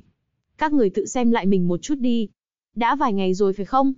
Vài ngày rồi mà để các ngươi dò xét chút tin tức mà cả một cái rắm cũng không dò ra. Chủ nhân trở về rồi lúc ấy trách tội thì các ngươi có thể gánh được không? Hừ. Trung Đại Hồng vung tay áo, hừ lạnh một tiếng. Một tiếng hừ lạnh này, của hắn lập tức khiến cho mấy tộc nhân ám hạt tộc trước mặt mặt mũi tái nhợt. Một người trong đó do dự ôm quyền mở miệng nói, chuyện này. Hắn chưa kịp nói xong thì sắc mặt đã đại biến, ngẩng phất đầu nhìn bầu trời. Trong nháy mắt này, tất cả tộc nhân ám hạt tộc đều ngẩng đầu, lộ vẻ khiếp sợ. Tộc trưởng ám hạt tộc đang ngồi thổ nạp ở sơn cốc bên ngoài động phủ của Vương Lâm. Hắn theo lời Vương Lâm trở về trước, giờ phút này mở bừng đôi mắt, lộ vẻ hoảng sợ, thân thể nhoáng lên một cái liền bay lên không trung. Trung Đại Hồng cũng sừng sốt, ngẩng đầu nhìn bầu trời. Vừa nhìn thấy cảnh tượng trên trời, sắc mặt hắn tái nhợt, lộ vẻ hoảng sợ. Lão giả họ Trương bên cạnh lại càng hít sâu một hơi, đứng sững ra ở đó. Cả bầu trời tràn đầy sóng gợn, dường như hóa thành biển cả, trào dâng con sóng ngập trời. Từng đạo kiếm quang từ xa xa bay tới, liền mạch giáng xuống trong tiếng gào thét ầm ầm. Tiếng động này lúc đầu còn yếu ớt nhưng rất nhanh sau đó, liền trở nên kinh thiên động địa, đồng loạt rít gào. Vân độn tộc tới đây tìm vật, sử dụng tu chân tinh này 3 tháng. Toàn ám hạt tộc lập tức nhanh chóng rời khỏi đây, không có ngoại lệ. Một tiếng gầm nhẹ từng trong hơn ngàn đạo kiếm quang như cầu vồng trên bầu trời truyền ra, hóa thành tiếng động ầm điên cuồng vang vọng khắp thiên địa. Vân độn tộc, các ngươi muốn làm gì? Ám hạt tộc chúng ta tuy nhỏ nhưng vẫn là một tộc lạc của lạc sinh hội. Các ngươi, sắc mặt tộc trưởng ám hạt tộc đại biến, ở giữa không trung lập tức mở miệng nói. Nhưng không đợi hắn nói xong, một tiếng hừ lạnh từ trên trời cao giáng xuống. Nhiều lời. Tiếng nói này lạnh như băng, lập tức áp đảo hết tất cả âm thanh, rõ ràng rơi xuống mặt đất. Từ trong hơn một ngàn tu sĩ bầu trời đi ra một người. Người này vừa xuất hiện tu vi liền vận chuyển. Một mùi thối nồng nặc tràn ngập khắp bốn phía, lập tức khiến cho tộc trưởng ám hạt tộc lùi lại mấy bước, thất thanh nói, tham lang. Mùi thối nãy rất nồng, thật lâu không tiêu tan, bao phủ cả mặt đất. Lập tức có một số tộc nhân ám hạt tộc suýt nôn mửa. Tu vi của Trung Đại Hồng không đủ, lại càng không biết thân phận của tham lang, hít phải một hơi thối này, lập tức nôn mửa. Hắn vừa nôn ra liền khiến cho sắc mặt tham lang cực kỳ âm trầm. Hắn vung tay áo, lập tức thiên địa biến sắc. Một cây quạt lớn đột nhiên xuất hiện. Cây quạt này có quang mang lưu chuyển, sau khi xuất hiện liền vung mạnh về phía trước một cái. Tiếng động ầm ầm kinh thiên động địa vang lên. Vô số ngọn núi sụp đổ. Ngay cả động phủ của Vương Lâm trong nháy mắt cũng tan tành. Hơn trăm tộc nhân của ám hạt tộc dưới cuồng phong này cũng không thể chống cự, cả đám người phun máu tươi, thân thể như một chiếc lá khô bị gió cuốn đi, hung hăng ném về phía sau. Tộc trưởng ám hạt tộc đau khổ dãy ruộng, nhưng thân thể không tự chủ được bị cuốn lui lại phía sau. Mặt đất sụp đổ, bầu trời như bị xé rách. Lão già họ Trương phun một ngụm máu tươi liền trực tiếp hôn mê, thân thể bay đi thật xa, không còn thấy tung tích. Một quạt này làm rung động tất cả tu sĩ ở nơi này. Trung Đại Hồng bị một lực lượng mạnh mẽ lôi đi, trực tiếp kéo tới trước mặt Tham Lang. Càng tới gần Tham Lang, khí thối càng nồng đậm. Trung Đại Hồng bị mùi này tràn vào mũi, sắc mặt cực kỳ khó coi. Thối lắm sao? Tham Lang nhìn chằm chằm vào Trung Đại Hồng, chậm rãi mở miệng. Không thối, không thối. Tâm thần Trung Đại Hồng run rẩy, vội vàng chịu đựng mùi thối, sau khi nói xong còn sợ đối phương ong không tin, lập tức cắn răng hít sâu vào một hơi, khuôn mặt lộ vẻ say mê. Chẳng qua hít một hơi này lại càng khiến mùi thối sộc vào mũi nồng nặc, khiến cho hắn lại nôn mửa một lần nữa. Mắt thấy tham lang hiện lên sát khí. Trung Đại Hồng lập tức gắng gượng thét to, chủ nhân của ta tu vi thông thiên. Người nếu giết ta, thì ngươi chắc chắn sẽ phải chết. Tộc trưởng ám hạt tộc ngay cả một thức thần thông của chủ nhân ta cũng không tiếp được. Tu vi ngươi mặc dù cao nhưng không phải là đối thủ của chủ nhân của ta đâu. Tham lang cười lạnh. Chủ nhân của ta đang trên đường trở về, lúc này cũng có thể tới đây. Ngươi nếu dám động vào ta thì ngươi chết chắc rồi. Ám hạt tộc vì làm ta bị thương mà cuối cùng trở thành nô lệ của chủ nhân ta. Ngươi cũng sẽ như vậy thôi. Dưới nguy cơ sinh tử này, Trung Đại Hồng có gì liền lập tức phun sạch. Tu vi thông thiên. Nếu ngươi không nói thì thôi. Ngươi đã có chủ nhân thì ta muốn nhìn xem chủ nhân của ngươi có bản lãnh gì. Nô tài dám đắc tội với lão phu, chủ nhân cũng có lỗi. Kẻ phạm lỗi này đối với lão phu đều phải chết. Tham lang vung tay phải lên, tống một cỗ lực lượng vào trong cơ thể Trung Đại Hồng, khiến cho Trung Đại Hồng phun máu tươi, toàn thân gần như tan nát, để hắn trên mặt đất cách đó không xa. Nếu chủ nhân của ngươi là người của ám hạt tộc thì lão phu còn không tiện giết người. Nhưng nếu không phải, thì ta muốn nhìn thử xem chủ nhân của ngươi có thể khiến ta chết như thế nào. Tay áo tham lang vung lên. Lập tức cuồng phong trong thiên địa lại hiện lên, cuốn tộc nhân ám hạt tộc bốn phía đi, đuổi họ ra khỏi tu chân tinh. Làm xong việc này, tay áo tham lang vung lên, hướng về tu sĩ của vân độn tộc ở xung quanh kiêu hãnh nói, các ngươi chờ ta tiếp chủ nhân của gã nô tài này, cũng để cho các ngươi thấy một chút pháp bảo của tham lang ta. Các người có thể thấy được lão phu thi triển pháp bảo, thì chính là cơ hội lớn trong đời này, của các người. Pháp bảo của lão phu trong thiên địa này hiếm có người nào sánh bằng. Cho các người thấy một chút xem lão phu lấy pháp bảo giết tu sĩ thiên, nhân đệ nhất suy như thế nào, khiến các người cả đời này khó có thể quên được. Những lời này của tham lang cực kỳ cuồng ngạo, tay phải vung lên, lập tức trước người xuất hiện 9 tấm bia đá tăng thương. Mấy tấm bia đá này vừa xuất hiện liền, khiến cho thiên địa biến sắc. Hắn lại vung lên một lần nữa, có 99 thanh trường kiếm biến ảo ra, tạo nên kiếm khí cuồn cuồn. Hắn vừa vung tay một cái liền có thêm một mảnh thanh quang. Thanh quang này rơi xuống đất liền khiến cho mặt đất chấn động, trong tiếng động ầm ầm, nháy mắt trên tinh cầu này liền mọc lên một cây đại thụ. Cây cối hiện ra dày đặc, trong nháy mắt liền hình thành một khu rừng rậm. Cảnh tượng này khiến cho tu sĩ vân độn tộc phấn chấn tinh thần, có thể tận mắt thấy tham lang thi triển pháp bảo là chuyện bọn hắn mơ tưởng đã lâu. Pháp bảo của đại cung phụng tham lang ở vùng đất điên lạc này đã nghe đồn từ lâu, hôm nay ta mới có may mắn được nhìn thấy. Nói không chừng có thể cảm ngộ được gì đó. Nghe đồn tham lang có thể dùng pháp bảo đánh chết tu sĩ thiên nhân suy kiếp. Loại chuyện này chưa gặp bao giờ, lại càng không thể hiểu nổi thứ pháp bảo đó là, thứ gì mà lại có uy lực kinh thiên động địa như vậy. Hôm nay rốt cục ta cũng được thấy rồi. Đại cung phụng tham lang rất nhiều pháp bảo, không ai biết hết được. Lúc này có thể thấy tận mắt thật đúng là may mắn. Đám tu sĩ vân độn tộc bốn phía thần sắc hưng phấn, cung kính vâng dạ. Trung Đại Hồng trên mặt đất ngơ ngác nhìn một màn này, tâm thần hoảng sợ. Hắn không biết thân phận tham lang, nhưng lúc này khi thấy tu sĩ bốn phía nói vậy thì trong lòng vô cùng hồi hộp. Ánh mắt tham lang hãnh diện, tay phải lại vung lên một lần nữa. Lập tức rừng rậm trên mặt đất truyền ra những tiếng rít gào nhẹ nhẹ. Dường như cả khu rừng này thức tỉnh vậy, nhất thời vặn vẹo, tạo ra tiếng ầm ầm kinh thiên, thể hiện một cảnh tượng khiến tất cả các tu sĩ đều phải hít sâu một hơi. Một mảng rừng rậm lớn không ngờ lại sống dậy trên mặt đất. Đây đâu phải là rừng rậm gì, rõ ràng là một người do vô số đại thụ tạo thành. Tất cả các cây đại thụ đều ngưng tụ lại, tạo thành một thụ nhân cực lớn, chậm rãi đứng lên. Thân thể thụ nhân này to lớn không thể tưởng tượng nổi, lại có một luồng khí tức cực kỳ cường đại trong nháy mắt trào ra mênh mông.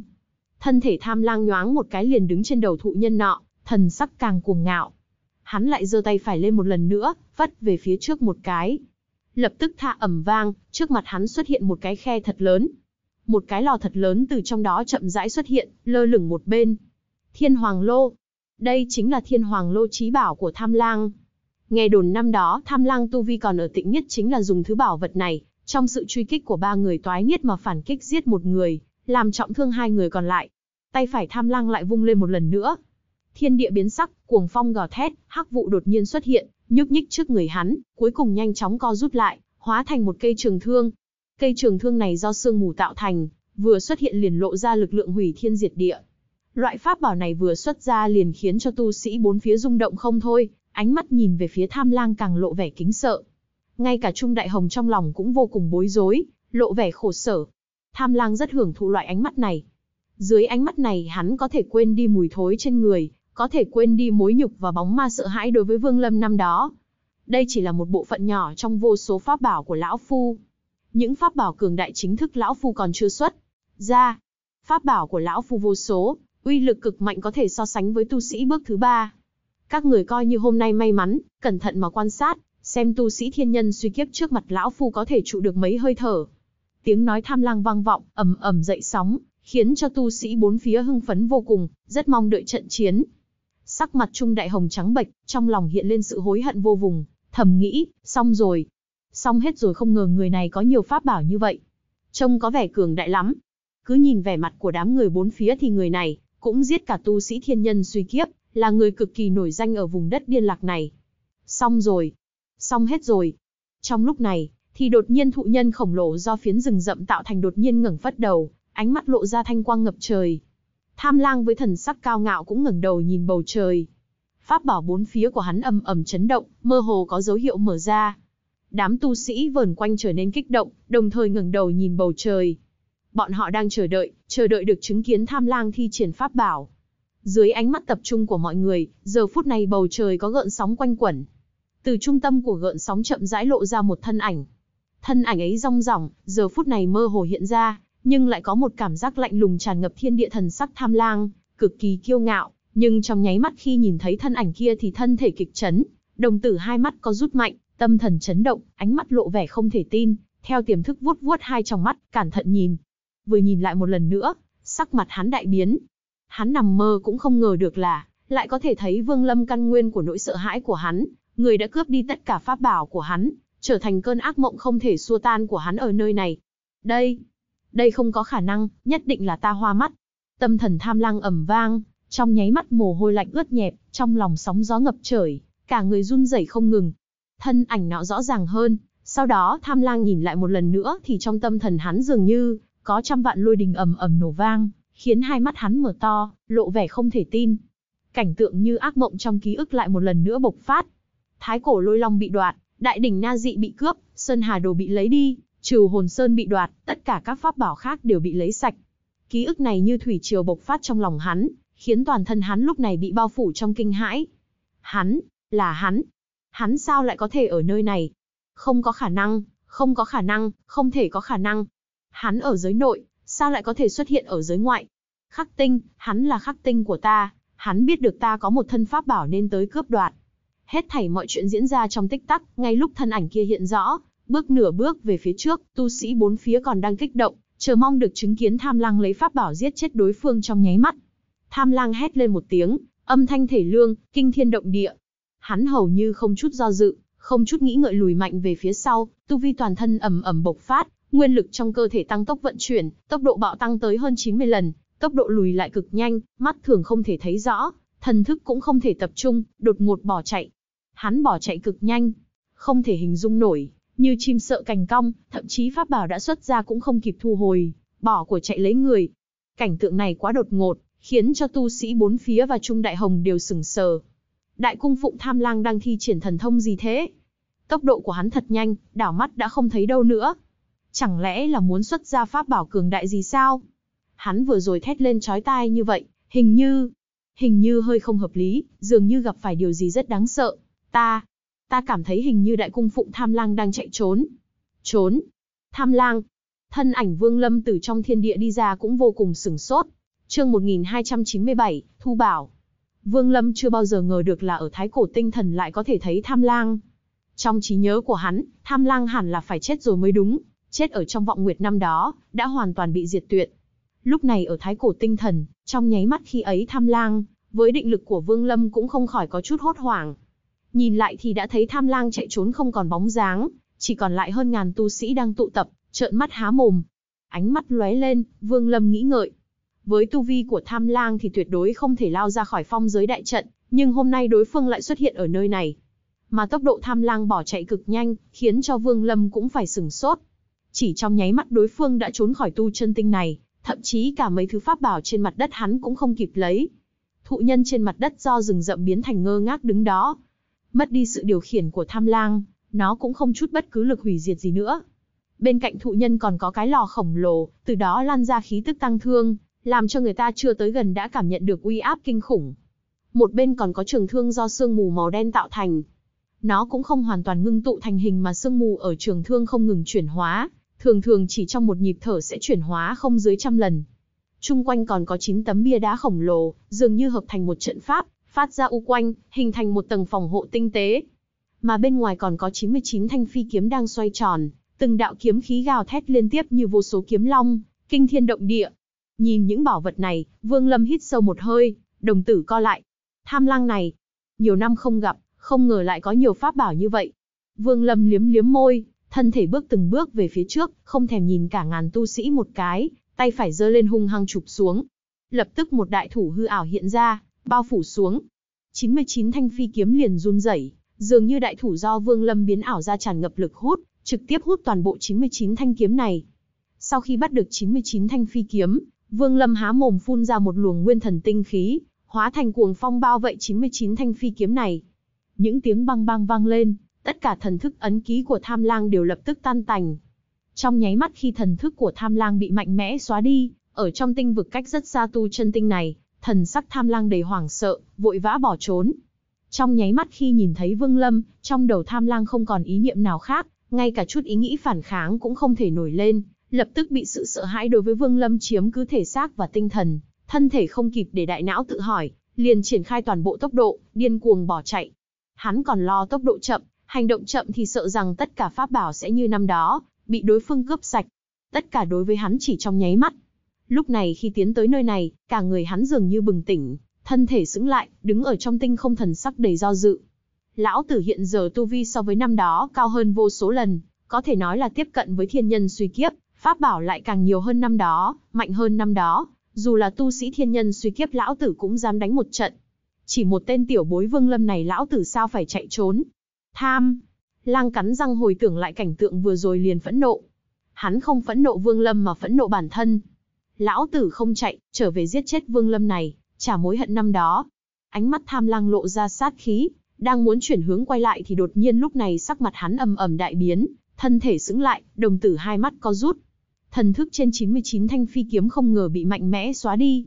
Đáng chết, Vương Lâm này hiện giờ rốt cục có tu vi gì, mà có thể mạnh mẽ xóa bỏ thần thức lạc ấn của ta. Thân thể tham lăng lập tức dừng lại, sắc mặt âm trầm như nước. Giờ phút này hắn lại nhớ tới cơn ác mộng năm xưa. Ý niệm trong đầu điên cuồng vận chuyển, tham lang dậm mạnh chân, vẫn chưa lùi lại mà đi thẳng tới tu chân tinh của Vương Lâm. Chỉ là hắn đi được ba bước thì lại sững lại một lần nữa, sắc mặt tái nhợt hơn, lộ vẻ khiếp sợ. Thần thức lạc ấn trên hộ cốt cửu bi không ngờ. Không ngờ cũng bị mạnh mẽ xóa sạch. Hộ cốt cửu bi này là ta tại một cổ mộ thần bí, mấy vạn năm không có thần thức lưu lại, bị thần thức lạc ấn của ta đặt lên đã hoàn toàn dung hợp, tuyệt không phải là người tầm thường có thể xóa nổi. Này, mới qua bao lâu mà hắn lại có thể xóa được thần thức của ta trên đó? Tham lăng do dự. Hắn mơ hồ có cảm giác tu vi của đối phương tuyệt không đơn giản. Đáng hận là ta vừa rồi chạy trốn quá nhanh, căn bản không kịp xem tu vi của vương lâm kia. Nhưng dù là cốt bi và phi kiếm bị hắn cướp thì thiên hoàng lô và vụ ma thương, còn có táng thiên mục linh của ta hắn tuyệt đối không thể trong thời gian ngắn lấy được. Hôm nay lão tử liều một phen. Thần sắc tham lang dữ tợn, vọt đi, quay ngược lại đường vừa đào tẩu. Chỉ là, gần trong thời gian ba nhịp thở, tham lang đang lao đi cơ thể đột nhiên ầm một cái lại xuất hiện, cả người phun máu tươi. Sắc mặt trắng bệch, vẻ mặt kịch biến. Vụ ma thương. Bị hắn thu. Thần sắc tham lang hoảng sợ. Sự sợ hãi như thủy triều tràn ngập trong tâm thần, hoàn toàn bao phủ lấy hắn. Giờ phút này hắn không còn ý định quay lại tìm Vương Lâm gây phiền toái nữa. Ý nghĩ điên cuồng bỏ chạy vừa nãy lại một lần nữa chiếm cứ tâm thần hắn. Không cần phải nghĩ ngợi, Tham Lăng lập tức xoay người hướng về phía xa xa dùng tốc độ bạo tăng tới hơn, 90 lần ầm ầm lao đi. Khắc tinh, khắc tinh của ta. Vương Lâm đáng chết chém ngàn đao này. Hắn đúng là sát tinh cả đời ta. Trong lòng Tham Lang tràn đầy khổ sở, lộ vẻ không cam lòng và phẫn nộ vô cùng, trong đó lại càng có một sự oan ức. Năm đó hắn thật vất vả mới chạy ra khỏi phong giới đại trận, trải qua cửu tử nhất sinh, rốt cục dựa vào đại cơ duyên, đổi được một thân pháp bảo trí cường, vốn tưởng rằng đủ để kinh thiên động địa. Trên thực tế thì tại vùng đất điên lạc này hắn cũng đã làm được như thế. Chỉ là cuộc sống sung sướng của hắn không kéo dài được bao lâu, lúc này khiến hắn gặp phải Vương Lâm. Tham lang đau khổ từ tận trong tim, vừa bỏ chạy vừa gầm thét giận dữ. Nhưng sau đó, tham lang đang rít gào thì thân thể lại run lên, một lần nữa phun máu tươi, thân thể lảo đảo, tốc độ bỏ chạy lại càng nhanh hơn. Khắc tinh đáng chết ngàn đao, vạn đao.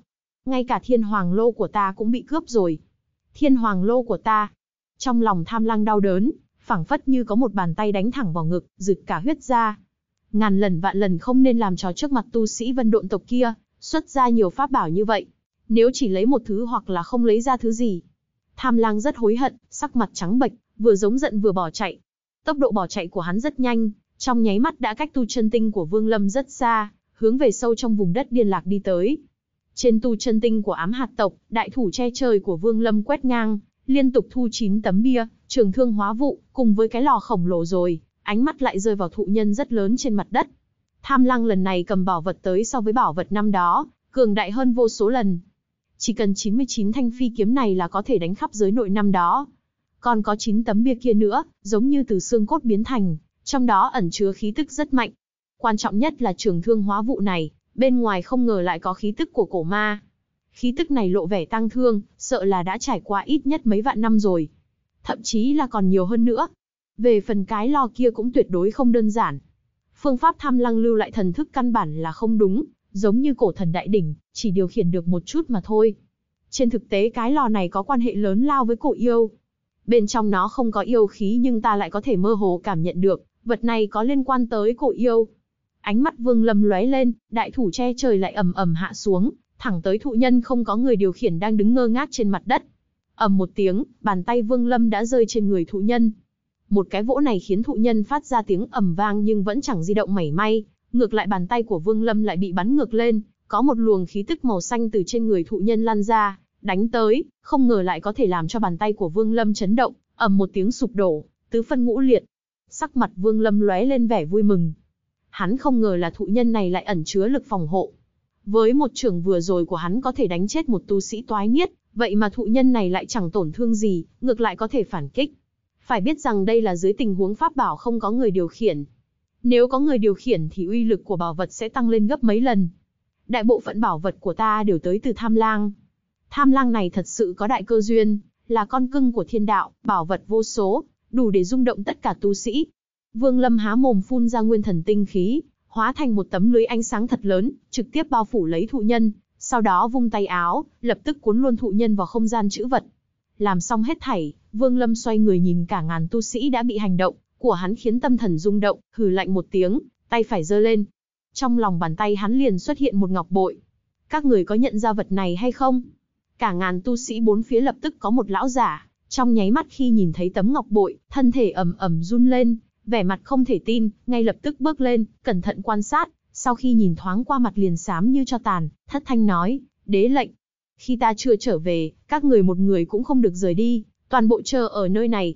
Vương Lâm lạnh như băng nói, một ngón tay chỉ về phía Trung Đại Hồng đang hưng phấn đứng cách đó không xa. Nghe theo lệnh người này. Sau khi phân phó xong, thân thể Vương Lâm nhoáng lên, hóa thành một đạo cầu vòng lao thẳng về phía chân trời, cất bước liền hiện. Lên sóng gợn, thân ảnh biến mất. Chương 1298, đầu mối. Trong tinh không vùng đất điên lạc, Tham Lang hóa thành một đạo cầu vòng, điên cuồng bỏ chạy, dọc đường đi thầm mắng chửi liên hồi, tựa hồ chỉ có vậy mới khiến hắn dễ chịu được một chút. Nếu không thì một khi nhớ, tới chuyện pháp bảo bị người ta cướp đi hắn sẽ đau lòng tới phát điên mất.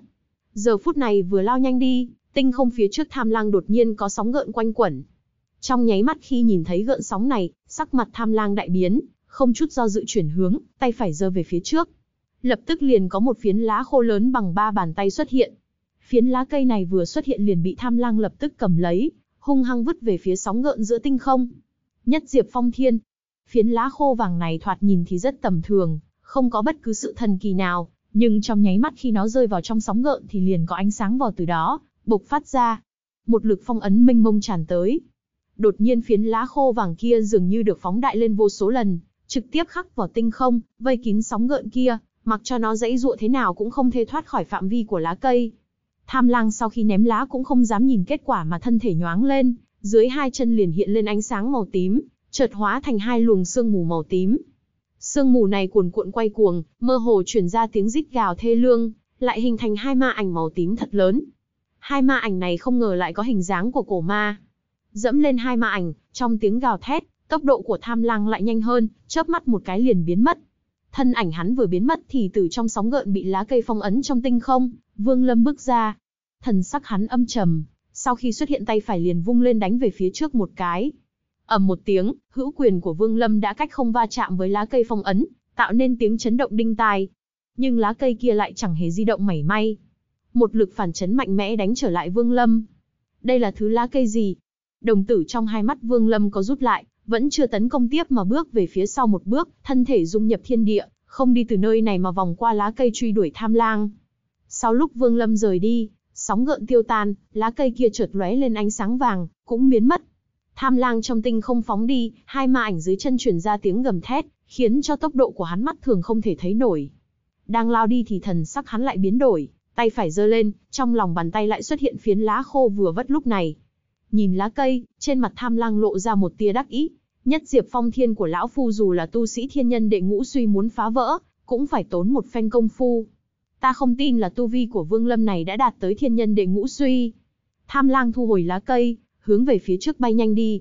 Một lát sau, thân thể hắn lại sững lại, lộ ra nụ cười lạnh, tay phải lại vung lên một lần nữa. Phiến lá cây kia liền bay ra, hướng thẳng về hư không phía trước. Trong nháy mắt khi lá cây rơi xuống, trong hư không liền có sóng gợn hiện ra. Nhưng tham lang không biết sử dụng phương pháp gì, mà không ngờ lại biết trước được chuẩn xác nơi vương lâm sắp hiện ra. Thần thông của lão tử, thuật bỏ chạy là cường hãn nhất.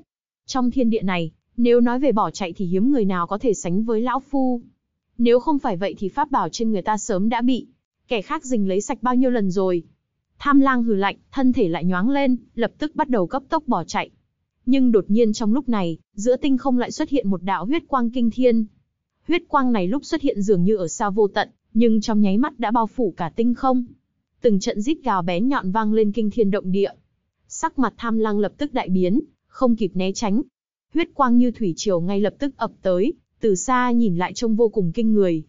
Huyết quang kia ngập trời, giống như một cái miệng lớn lấy tốc độ, không thể tưởng tượng trực tiếp lao tới cắn nuốt tham lang. Cùng với huyết quang xuyên thấu qua người tham lang, nhưng tiếng băng băng vang lên khắp tham lang, lại có những tiếng va chạm như tiếng kim loại va chạm truyền ra. Một tiếng hét thảm thiết vang lên. Huyết quang trôi qua, thân thể tham lang bị đánh tung. Hắn cũng phun một ngụm máu tươi, sắc mặt tái nhợt, trên ngực áo lộ ra một mảnh đen kịt. Hóa ra trên người hắn có ẩn giấu một bộ áo giáp. Trên ngực áo hắn lúc này xuất hiện vô số khe nứt, lan tràn ra bốn phía. Ngoài thân thể hắn, huyết kiếm bị chấn bay ra hơn 10 trượng, Tham lang giơ tay phải lên, hai ma ảnh dưới chân lập tức hóa thành hai đạo hắc khí, vườn quanh thân thể hắn, hình thành một luồng gió lốc màu đen, vừa xoay tròn vừa phát ra tiếng chấn động kịch liệt, cuốn tham lang nhanh chóng bỏ chạy. Hết thảy mọi chuyện đều diễn ra trong nháy mắt. Ngay khi tham lang ở trong cơn lốc màu đen bỏ chạy, ở chỗ lá cây phong ấn, Vương Lâm bước ra. Sau khi hiện thân, Vương Lâm không cần nghĩ ngợi, tay phải chụp về phía trước một cái, lập tức nắm lấy cái lá kia. Tham lang trọng thương bỏ chạy dĩ nhiên là không thể điều khiển phiến lá này nữa, sau khi bị Vương Lâm chụp lấy, liền bị hắn đánh lên vô số cấm chế phong ấn, không rảnh mà đi nghiên cứu, trực tiếp ném vào trong không gian chữ vật. Khi ngẩng đầu lên thì Tham Lang đã trốn không thấy tung tích. Thần sắc Vương Lâm lạnh lùng nhưng mơ hồ lại hiện lên vẻ hưng phấn. Có ý tứ, Tham Lang này trên người quả có không ít pháp bảo. Mọi lần gặp được người này ta đều gặp vận may thật lớn, lại càng đoạt được vô số pháp bảo. Năm đó toàn bộ pháp bảo của hắn đã bị ta lột sạch, vốn tưởng là hắn phải chết, không ngờ hôm nay gặp lại lại càng có nhiều pháp bảo hơn. Tính cách người này ta cũng hiểu một chút, nếu ta không bức hắn nóng lên, thì hắn rất ít khi lộ ra loại pháp bảo giống như ở trên tu chân tinh kia. Hắn chỉ biết lấy ra từng thứ từng thứ một. Mà trên người kẻ này có rất nhiều bí mật.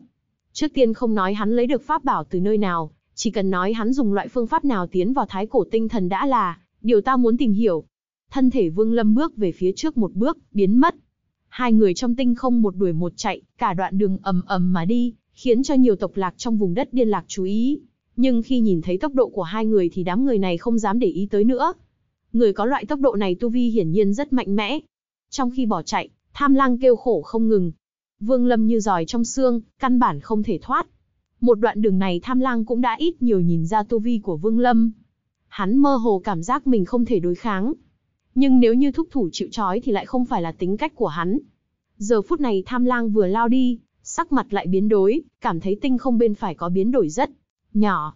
Hắn cắn răng, tay phải lật lên, chụp vào hư không một cái. Lập tức có một cái bình ngọc màu đen xuất hiện trong lòng bàn tay hắn. Bình ngọc này lạnh như băng, từng trận ma khí tràn ngập lan ra. Bên ngoài bình ngọc có điều khắc một đồ án, không ngờ có hình dáng như cổ ma.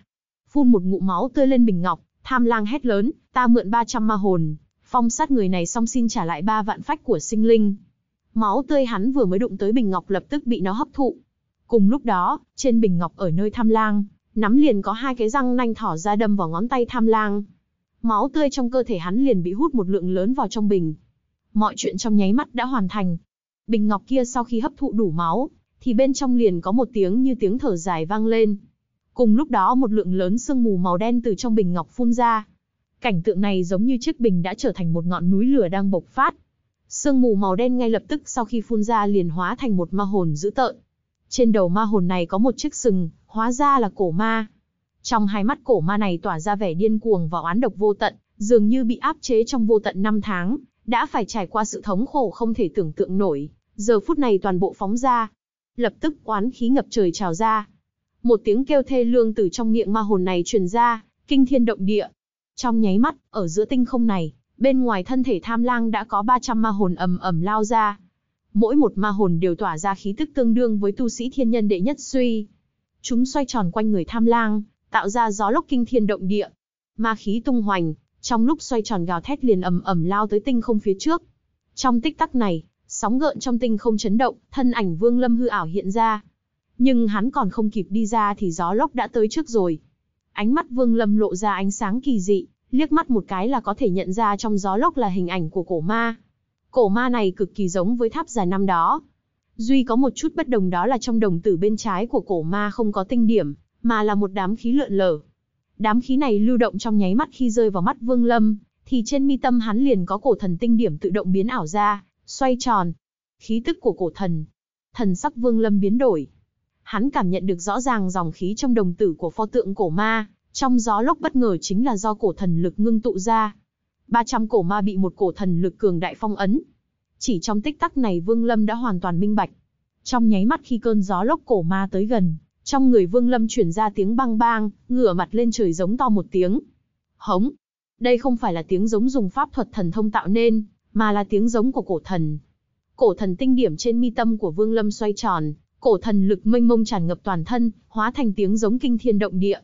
Một tiếng giống này khiến cho ma phong đang bay tới ầm ầm rung chuyển, không ngờ lại ngừng lại, không dám đi tới.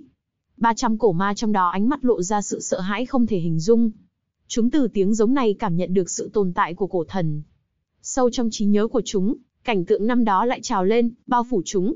ầm một tiếng, ma phong liền tự tan nát. 300 cổ ma bay tứ tán về bốn phương tám hướng. Biến hóa này quá nhanh, khiến cho tham lăng căn bản không. Kịp phản ứng, sững sờ đứng đó. Hắn chẳng sao hiểu nổi một kiện trí bảo lại chỉ vì một tiếng giống mà hỏng mất. Ta rốt cục đã biết tham lang ngươi tìm được những pháp bảo này ở đâu rồi. Không ngờ được.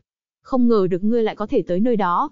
Ánh mắt vương lâm lộ vẻ mừng rỡ như điên, bước từng bước về phía tham lang. Chương 1299, không phải sợ. Khắc tinh. Hắn là khắc tinh của ta. Ngay cả pháp bảo cũng bị hắn khắc. Tham lang vừa hét lên chỏi tai, thân thể vừa vội vàng lùi lại phía sau. Khi thấy Vương Lâm đuổi theo từng bước, Tham Lang liền vứt mạnh bình ngọc màu tím trong tay phải về một hướng. Động tác này năm đó hắn đã làm. Hắn sau khi đi tới Thái Cổ Tinh Thần mỗi lần nhớ lại chuyện năm đó, đều đau lòng nổi giận, lại cũng phát lời thề cuộc đời này sẽ không bao giờ làm chuyện vì bỏ chạy, mà vứt bỏ pháp bảo để hấp dẫn đối phương nữa. Theo hắn thấy, khi pháp bảo bị đoạt đi, thì so với việc giết hắn còn khiến hắn điên cuồng khó chịu hơn giống như đại đỉnh Nazi, như thái cổ lôi long năm đó. Nếu hắn biết đại đỉnh Nazi đã mấy lần giúp Vương Lâm thoát khỏi sát kiếp, nếu hắn biết được nhờ vào thái cổ lôi long mới khiến Vương Lâm có cơ hội lôi tu, lại càng khiến cho Vương Lâm tại La Thiên Tinh vực thanh danh hiển hách, thậm chí cuối cùng còn sinh ra bổn nguyên lôi đình. Hết thảy chuyện này nếu hắn biết được chắc chắn sẽ phun máu tươi, đau lòng muốn chết. Lão Phu có được vận may lớn, có được đại cơ duyên, là con cưng của thiên địa, được thiên đạo ân sủng, 8 tuổi đã đào được hoàng tinh trăm năm nuốt vào, 13 tuổi lần đầu tiên ở sườn núi tìm được một cây chu quả 500 năm, 18 tuổi lúc trúc cơ lại có được thái cổ lôi long. Sau khi kết đan chém giết cường địch, khi thấy không địch lại thì trên bầu trời đột nhiên rơi xuống một đại đỉnh đập chết hắn. Từ đó về sau cả đời chót lọt, Sơn Hà Đồ, Trừ Hồn Sơn, Thần Châm, đủ loại bảo vật ta đều có được. Cuộc đời ta chỉ có một thiên nghịch là không gặp thuận lợi. Cho tới khi gặp phải khắc tinh đáng chết này. Chính hắn đã lấy đi toàn bộ pháp bảo của ta, cướp đi toàn bộ tâm huyết của ta. Cũng may là ta có số may, đại nạn không chết, ngược lại còn có kỳ ngộ khác, đạt được càng nhiều pháp bảo hơn, có được tu vi càng mạnh hơn. Nhưng khắc tinh đáng chém ngàn vạn đao này không ngờ lại không buông tha cho ta, tới tận thái cổ tinh thần. Tham lang nhớ lại tất cả mọi chuyện, trên mặt tràn đầy bi phẫn, vội vàng lùi lại phía sau. Vương Lâm cất bước, khuôn mặt lộ vẻ như cười như không, khi thấy tham lang ném bình ngọc màu tím kia về một hướng khác, rồi chạy về hướng ngược lại, hắn liền không đuổi theo tham lang nữa mà nhoáng lên, lao tới bình ngọc đó. Tham lang thấy Vương Lâm thay đổi phương hướng liền vội vàng vung tay lên, trong tay liền hiện ra một cây quạt lớn. Cây quạt này màu vàng, vừa mới xuất hiện liền có kim quang sáng chói tinh không. Trên mặt cái quạt này có khắc hình một con thú kỳ dị, bộ dáng dữ tợn, thân như rồng nhưng không có chảo, ngược lại lại có rất nhiều cánh. Nửa thân thể nó nhập vào trong mây, giống như đang bay rất nhanh. Xuất ra cây quạt này, tham lang vung mạnh lên. Lập tức một tiếng kêu to từ trong quạt truyền ra, bên ngoài truyền tới tiếng gió rít kinh thiên, hóa thành sấm động ầm ầm. Đột nhiên mãnh thú trên quạt như sống dậy, trong tiếng rít gào liền từ trong cái quạt biến ảo ra, lập tức quấn quanh tham lang, hướng về phía xa hó a a thành một mảng mây đen, dùng tốc độ cực nhanh bay đi. Vương Lâm không để ý tới tham lang, cất bước nhanh chóng đuổi theo cái bình ngọc màu tím, tay áo vung lên liền trực tiếp bắt lấy cái bình ngọc này, trong tiếng cười dài liền chuyển thân, dùng xúc địa thành thốn đuổi theo một lần nữa. Tham lang này đúng là phúc tinh trên đường tu đạo của Vương Lâm ta. Vương Lâm, vừa cười to, thân ảnh biến mất. Thân thể tham lang được tầng mây bao phủ, có mãnh thú kỳ dị dài cả trăm trượng kia quấn quanh. Trên người nó có gần trăm đôi cánh, mỗi lần đập cánh thì tốc độ đều tăng mạnh, lấy mắt thường không thể nhìn rõ tốc độ bay đi của hắn. Trong tinh không, một mảng sóng gợn lại hiện lên, đuổi theo không bỏ. Sóng gợn kia giống như sóng ngoài khơi xa, ầm ầm tới gần, bên trong mơ hồ hiện ra thân ảnh của Vương Lâm, càng đuổi càng nhanh.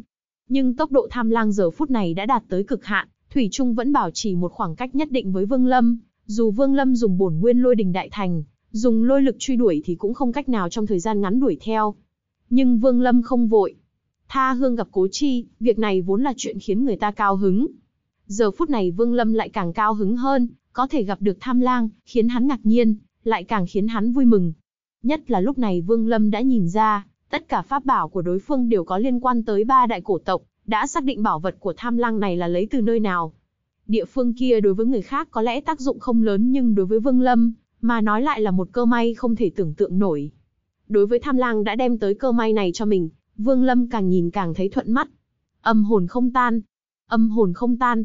Tham lang cực kỳ khó chịu, dường như có cây kim không ngừng châm vào trái tim hắn, khiến hắn đau đớn. Mà nguyên nhân của sự thống khổ này chính là phải thấy pháp bảo bị đoạt. Hắn đoạt đi phi kiếm, hộ cốt bị, lấy thiên hoàng lô, vụ ma thương, lại cả vạn cổ mộc linh cũng không tha, thậm chí cả cổ tức diệp và ma hồn bình cũng cướp rồi. Một nửa pháp bảo trên người ta giờ phút này đã thành của hắn. Vương Lâm đáng chết này còn không cho ta đi, không cướp toàn bộ pháp bảo của ta thì không bỏ qua. Tham lang càng nghĩ lại càng bi phẫn, vừa gầm thét thì lửa giận cũng bùng lên trong lòng, hắn cắn răng một cái, đơn giản không chạy nữa, xoay mạnh người, giữ tợn nhìn chằm chằm về phía sau. Lão tử không chạy nữa, liều mạng với tên đáng chém ngàn đao ngươi. Ánh mắt tham lang đỏ bừng. Hắn vốn là hạng người lạnh lùng, sát lục cực nặng.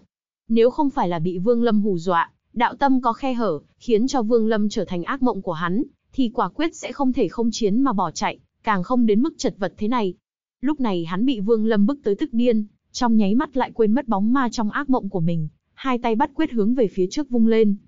Lập tức trước người hắn ầm ầm mở ra một cái khe không gian rất lớn. Yêu lang hàng thế, phạt diệt đạo thiên. Tham lang vừa rít gào, quần áo vừa bay phần phật, tóc không gió mà tung bay. Trong cái khe trước người đột nhiên tỏa ra yêu khí ngập trời. Yêu khí này Vương Lâm rất rõ ràng, chính là khí tức của cổ yêu. Yêu khí ầm ầm từ trong cái khe trào gian, tràn ngập tinh không trong nháy mắt. Một luồng sương mù màu đỏ từ trong đó lan ra rất nhanh, trong nháy mắt liền chui vào thất khiếu của Tham Lang. Những tiếng gào thét thống khổ từ trong miệng Tham Lang truyền ra. Toàn thân hắn nổi gân xanh, khuôn mặt vặn vẹo dữ tợn, trong tiếng gầm nhẹ, quần áo vỡ vụn, lộ ra một bộ áo giáp đen ngòm. Cùng lúc này thì ở phía sau, tinh không dường như nghịch chuyển. Một hư ảnh cả vạn trượng ầm ầm xuất hiện. Hư ảnh này là một đầu lang. Một yêu lang. Yêu lang này xuất hiện trong tinh không liền. Khiến cho yêu khí trong tinh không tăng lên gấp bội. Hóa thành một dòng xoáy khổng lồ, lấy tham lang làm trung tâm, như sóng lớn tràn ra khắp phương viên ngàn vạn dặm bốn phía. Trong vạn dặm, toàn bộ biến thành dòng xoáy khổng lồ. Dòng xoáy này xoay tròn phát ra tiếng động ầm ầm. Giữa trung tâm của dòng xoáy, yêu lang toàn thân phát ra ánh sáng màu đỏ, nhất là hai mắt lại có màu tím, ngửa mặt lên trời phát ra một tiếng sói chu. Tiếng hú này kinh thiên động địa, khiến cho hết thảy sinh linh khi nghe thấy mà tâm thần rung động, dâng lên nổi sợ hãi từ tận sâu trong tâm hồn. Cổ yêu. Thần sắc Vương Lâm hơi ngưng trọng, dưới lực tấn công của yêu khí kia khiến cho hắn đang dung nhập thiên địa phải lộ ra thân ảnh. Ngay lúc thân ảnh hắn xuất hiện, đầu yêu lang kia lại gầm thét một lần nữa, cúi đầu nhìn chằm chằm vào Vương Lâm, thân thể đột nhiên lao vọt ra. Nó lao tới khiến Vương Lâm cảm thấy như một tinh cầu lao tới, lại cũng khiến cho dòng xoáy bốn phía do yêu khí hóa thành điên cuồng có rút, ngưng tụ lại, dường như khiến yêu lang biến thành một cái động không đáy. Trong phạm vi 10 vạn dặm, yêu khí không ngừng có rút lại, cuốn cả tinh không, hình thành một lực hút thật lớn. Dưới lực hút này, bất luận kẻ nào cũng khó có thể lui lại phía sau. Mọi chuyện xảy ra quá nhanh, cơ hồ chỉ trong nháy mắt. Yêu lang nọ mở miệng gầm thét một lần nữa, hướng về phía Vương Lâm cắn tới. Năm đó đoạt pháp bảo của ta, đáng chết. Hiện giờ lại tới cướp đoạt, đáng chết. Tham lang ta từ khi tu đạo tới nay chưa từng bị người nào khi nhục như thế, người đáng chết. Chết, chết, chết. Tiếng nói chói tai của tham lang vang lên như điên cuồng. Thần sắc Vương Lâm bình tĩnh, hừ lạnh một cái, trong tích tắc khi yêu khí 10 vạn dặm cuốn tới, trong cơ thể hắn lập tức có tiếng băng băng truyền ra, cả thân bành trướng, trong thời gian ngắn liền hóa thành lớn gần ngàn trượng, trở thành một cổ thần lục tinh. Tinh điểm cổ thần trên mi tâm cấp tốc xoay tròn. Thân thể Vương Lâm lùi về phía sau một bước, tay phải giơ mạnh lên, dưới một tiếng gầm nhẹ liền xuất hiện huyết quang ngập trời. Từ xa nhìn lại, dường như tay phải Vương Lâm đang cầm cả một thiên địa huyết quang. Huyết quang kia phát ra ánh sáng chói mắt, dưới tay phải đang dơ cao của Vương Lâm hóa thành một thanh huyết kiếm lớn trăm trượng. Cầm huyết kiếm trong tay, ngay trong khoảnh khắc khi yêu lang cắn tới còn cách hắn không tới 10 trượng, tay phải Vương Lâm hung hăng chém xuống. Huyết kiếm trăm trượng ầm ầm chém xuống, bên ngoài tuôn ra kiếm quang vạn trượng. Kiếm mang màu đỏ đậm như máu tươi, từ xa nhìn lại dường như Vương Lâm, không phải cầm một thanh kiếm mà là một cái roi thật lớn, kéo dài, trực tiếp va chạm với yêu lang. Trong tiếng ầm ầm kinh thiên động địa, kiếm quang đỏ đậm rơi vào đầu yêu lang. Lập tức nó kêu lên một tiếng thảm thiết, bị kiếm mang thế như trẻ tre kia trực tiếp chém tan đầu, mở ra một cái rãnh rất sâu. Kiếm mang kia nhanh chóng chém vào trong cái rãnh đó, khiến cái rãnh càng ngày càng lớn, càng ngày càng sâu, cuối cùng ầm một tiếng liền xuyên thấu qua cơ thể yêu lang. Một kiếm này chém yêu lang thành hai nửa. Thân thể yêu lang bị chia làm hai, dưới lực lao tới lúc đầu giờ đây liền lao qua hai bên vương lâm, ở phía sau hắn phân tán ra, tiêu tan trong tinh không, chỉ còn lưu lại một tiếng rít gào không cam lòng vang vọng. Thần sắc vương lâm như thường, ánh mắt như đốt nhìn về phía tham lang. Ánh mắt tham lang lộ ra vẻ sợ hãi vô cùng, trong tiếng thét chói tai liền lui. Lại phía sau, tay phải vung lên, không chút do dự xuất ra pháp bảo cực mạnh của hắn. Đây là một pho tượng khắc gỗ bị tàn phá. Ngay trong nháy mắt khi pho tượng khắc gỗ này xuất hiện, giọng nói bình tĩnh của Vương Lâm liền vang lên trong tinh không. Định, thân thể tham lang đột nhiên sững lại, không thể di động nửa điểm, vẻ hoảng sợ trong mắt lập tức bạo tăng. Không phải sợ. Trả lời ta vài vấn đề, ta sẽ không giết ngươi. Chương 1300, thân phận và lai lịch pho tượng. Ta không ngờ lại bị hắn thi triển định thân thuật cực kỳ bá đạo này. Trong lòng tham lang nổi lên sóng lớn, sự sợ hãi trong mắt tràn lan, chỉ ếm toàn bộ hai mắt hắn. Khắc tinh này thật hèn hạ. Hắn đã có loại thần thông định thân này mà từ đầu không thèm sử dụng ngay, đợi ta xuất ra pháp bảo cực mạnh mới thi triển, chặt đứt hy vọng cuối cùng của ta. Nguyên thần và nguyên lực trong cơ thể tham lang, thậm chí là cả thần thức cũng không thể di động nửa điểm, chỉ có thể trơ mắt nhìn Vương Lâm từ xa đi lại. Pho tượng bị tàn phá kia không có bất cứ khí tức gì lan ra, lẳng lặng lơ lửng bên phải tham lang. Thân thể Vương Lâm trong khi di động dần dần thu nhỏ lại. Hắn khi đứng trước người tham lang thì đã hóa thành một người bình thường, vẫn chưa thèm để ý tới tham lang mà vươn tay chụp một cái, cầm pho tượng bị tàn phá trong tay. Thấy Vương Lâm lấy đi pháp bảo cực mạnh của mình, trong lòng tham lang giống như bị một thanh lợi kiếm xuyên qua rồi lại rút ra, liên tục cả trăm, cả ngàn lần, vạn lần. Nỗi đau đớn kịch liệt khiến cho tham lang bị lửa giận công tâm, máu tươi trào ra khỏi miệng. Chỉ là chút bảo vật, tham lang tiền bối sẽ không hẹp hòi như vậy chứ. Năm đó tiền bối đã tặng tại hạ không ít pháp bảo, hôm nay gặp lại lại tiếp tục tặng. Vương Lâm ta lại không tiện bất kính, đành phải nhận vậy. Vương Lâm nở nụ cười, trong lúc này chuyển ánh mắt rơi vào pho tượng bị tàn phá này quan sát kỹ. Vừa nhìn lại, thần sắc Vương Lâm liền có biến hóa. Pho tượng này thoạt nhìn rất tầm thường, bên ngoài lại có nhiều chỗ hư hỏng, trông tương đối quỷ dị, khác một người. Người này thoạt nhìn như trung niên, toàn thân mặc một bộ đạo sam lưu vân, tướng mạo tầm thường, nhưng từ trên người hắn lại mơ hồ lan ra một sự uy nghiêm nhẹ nhẹ, cũng không khiến người ta chấn động sợ hãi. Nhưng ánh mắt Vương Lâm khi vừa tiếp xúc với ánh mắt pho tượng này thì trong tích tắc, cả người hắn ầm ầm run lên. Chính là run rẩy, run rẩy toàn thân. Trước mắt Vương Lâm, tinh không trong nháy mắt sụp đổ, bị xé rách, có một luồng lực lượng không thể hình dung từ trong pho tượng bộc phát ra, theo hai mắt Vương Lâm trực tiếp nhảy vào trong tâm thần hắn. Trong tai Vương Lâm, thiên địa ầm vang, dường như là cả lôi đình đều bị đánh tan. Dù là tinh không, thiên địa, hết thảy vạn vật tồn tại trong nháy mắt đều sụp đổ, hóa thành hư vô. Cũng trong hư vô này, Vương Lâm mất đi tâm thần, cả người bị cỗ lực lượng này đánh sâu vào, lâm vào mê mang. Cũng không biết trải qua bao lâu, 10 năm, trăm năm, ngàn năm, 10 vạn năm. Cho tới một ngày Vương Lâm, thấy trong tinh không vốn đã không còn tồn tại thiên địa tựa hồ xuất hiện một đại lục. Đại lục này vô biên vô hạn. Trong mơ hồ, Vương Lâm có cảm giác minh ngộ. Phạm vi của đại lục này đã vượt qua cả thái cổ tinh thần, vượt qua cả giới nội. Cho dù là hai giới hợp lại, thì cũng còn xa mới có thể bằng một phần vạn của đại lục này. Trong tâm thần đã xem xét tất cả, lúc này mọi thứ lại hóa thành một mảnh hư vô. Vương Lâm sững người, run lên, tỉnh lại. Trong tinh không hay là phiến thiên địa này, tham lang trong mắt vẫn tỏa ra sự sợ hãi nồng đậm, bị định thân thuật khiến không thể di động. Vương Lâm trầm mặc. Vô luận là hắn đắm chìm trong trạng thái kỳ dị kia bao nhiêu năm, thực tế là đã tỉnh lại trong một khắc. Vương Lâm hiểu rõ, tất cả mọi chuyện chỉ diễn ra trong nháy mắt. Nếu nói chính xác ra thì thời gian, đó chỉ trong tích tắc khi hai mắt hắn tiếp xúc với pho tượng mà thôi. Chỉ là ảo giác. Thần sắc Vương Lâm lộ vẻ phức tạp. Hắn không muốn nghĩ thêm, nhưng cảnh tượng vừa chứng kiến trong tâm thần lại in dấu trong lòng hắn, cả đời này không thể tiêu tan, càng không thể quên nổi. Thứ, thứ này là thứ gì? Ánh mắt Vương Lâm lại một lần nữa rơi lên người pho tượng. Lần thứ hai nhìn lại, cảm thụ lại hoàn toàn bất đồng với lần đầu, chỉ thấy mọi việc như bình thường. Giờ phút này pho tượng lộ ra uy nghiêm khó có thể hình dung được. Uy nghiêm này có thể khiến tất cả tu sĩ trước mắt mặt trở thành kiến hôi. Cho dù là cả thiên địa thì trước mặt nó cũng phải khuất phục. Thậm chí Vương Lâm có thể mơ hồ cảm thụ, chỉ sợ là tu sĩ bước thứ ba ở trước mặt pho tượng này cũng phải run rẩy. Hắn rốt cục là ai? Vương Lâm trầm mặc. Cả đời hắn đã gặp rất nhiều pho tượng. Trước nay chỉ có pho tượng Thanh Lâm, trong vùng đất yêu linh là khiến cho hắn rung động nhất, có thể khiến cho người nhìn nó tâm thần như muốn sụp đổ. Chỉ là nếu so sánh với pho tượng trước mặt này thì, tuy cái cảm giác tâm thần sụp đổ không dày nhưng Vương Lâm lại mơ hồ cảm thấy, trước pho tượng này thì Thanh Lâm cũng chỉ như một con kiến hôi. Pho tượng khắc một người nam tử trung niên bình thường. Nam tử này đang ngẩng đầu, thần sắc bình tĩnh, không buồn không vui, vẻ mặt không thể hiện gì. Pho tượng này ngươi lấy được từ nơi nào? Vương Lâm Thủy Trung vẫn nhìn pho tượng này, không nhìn về phía tham lang, chậm rãi mở miệng. Trong lúc nói chuyện, tay phải hắn vung lên, khiến cho định thân thuật trên người tham lang hơi lỏng ra một chút, có thể nói chuyện. Ở trong một khu mộ, tham lang trầm mặc chỉ trong chốc lát, trong lòng thầm than, mở miệng nói. Muốn vào thái cổ tinh thần thì phải phá vỡ phong giới đại trận. Với tu vi của ngươi quyết không có khả năng mở được trận pháp này. Ngươi làm sao tiến vào được nơi này? Tiếng nói của Vương Lâm lạnh như băng, ẩn chứa một tia hàn ý, xâm nhập trong tâm thần tham lang khiến thân thể hắn run lên. Cũng là ở khu mộ đó. Tất cả pháp bảo của ta, phù kinh kiếm, cốt bi, vụ ma thương, thiên hoàng lô, còn có cả vạn cổ mộc linh, cổ tức diệp và ma hồn bình đều là lấy được từ cổ mộ đó. Tham lang thấp giọng nói, bỏ qua mọi phản kháng. Hắn hiểu rõ rằng nếu mình nói thật thì có lẽ còn có thể giữ mạng. Nếu không nói thì trước mặt hạng người sát khí ngập trời này tuyệt hắn sẽ không nương tay. Thậm chí nếu để đối phương nghi ngờ, thi triển sư thần thuật thì bản thân mình dù không chết cũng trở thành ngu ngốc.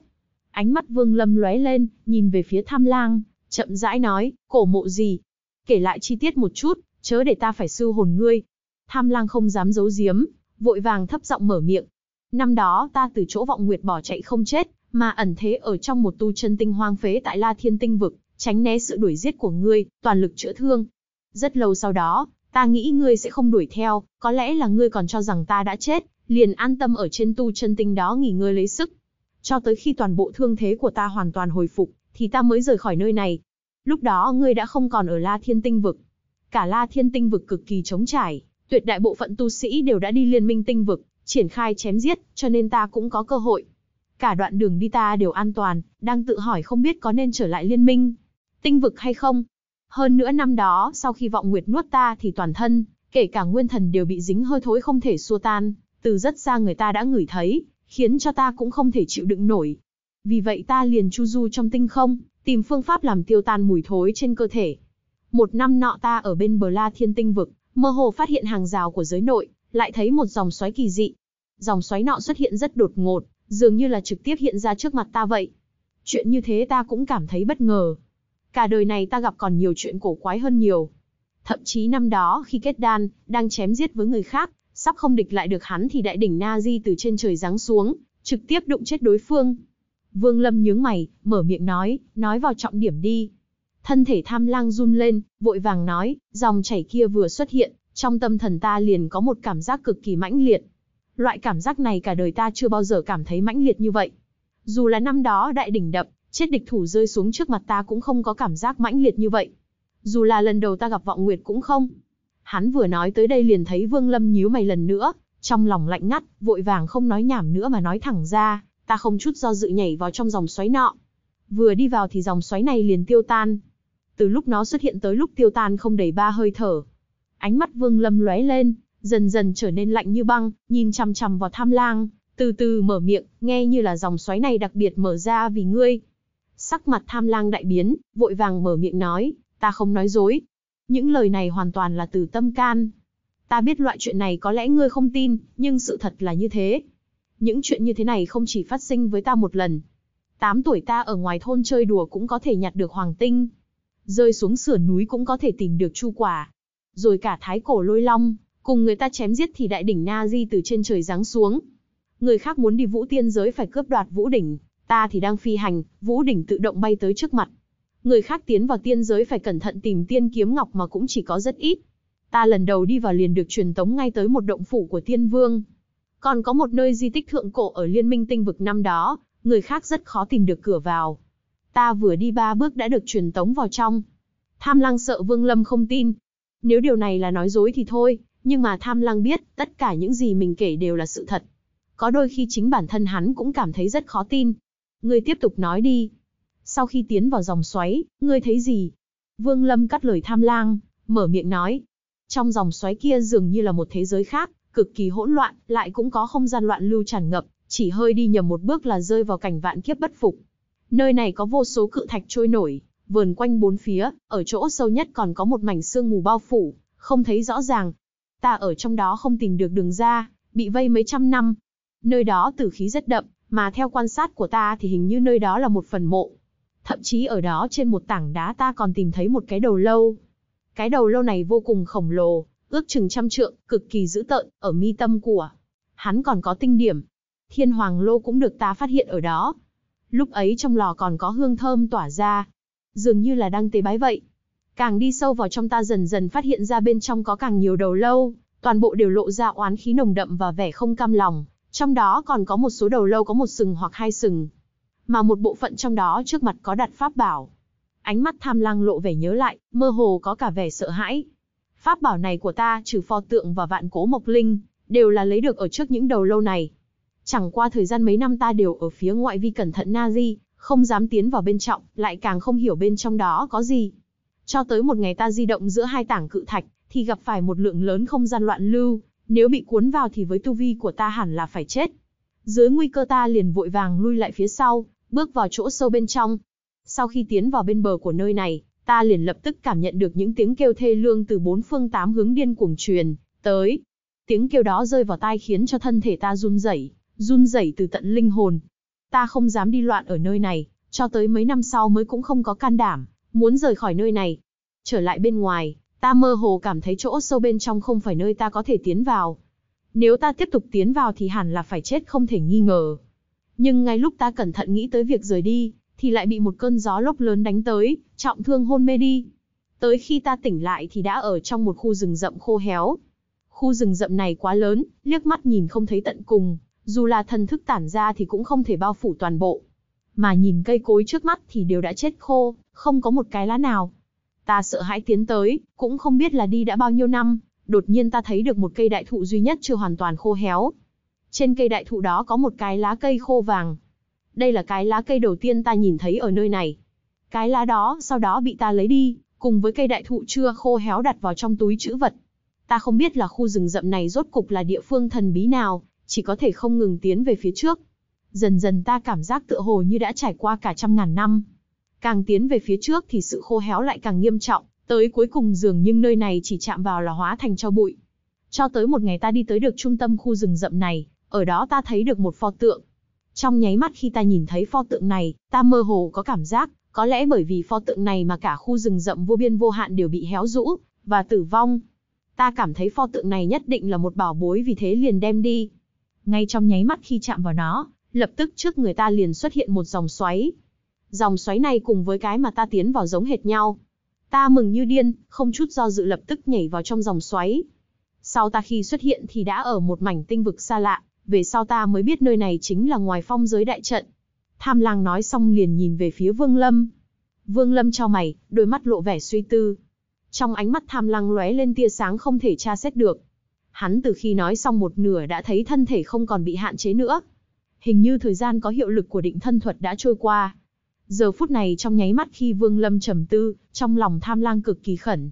Trương Nhưng lại chậm rãi lui về phía sau, sau đó lao mạnh đi, bỏ chạy. Nhưng trong nháy mắt khi thân thể hắn lao ra thì Vương Lâm lại tùy ý giơ tay phải lên chụp một cái.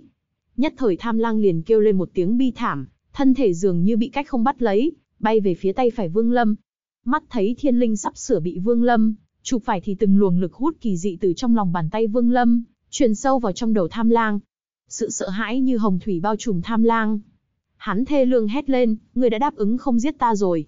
Hắn vừa nói lời này thì đột nhiên tay phải Vương Lâm rơi vào thiên linh của hắn, thần thức ầm ầm truyền ra, tiến vào trong nguyên thần hắn tra xét trí nhớ.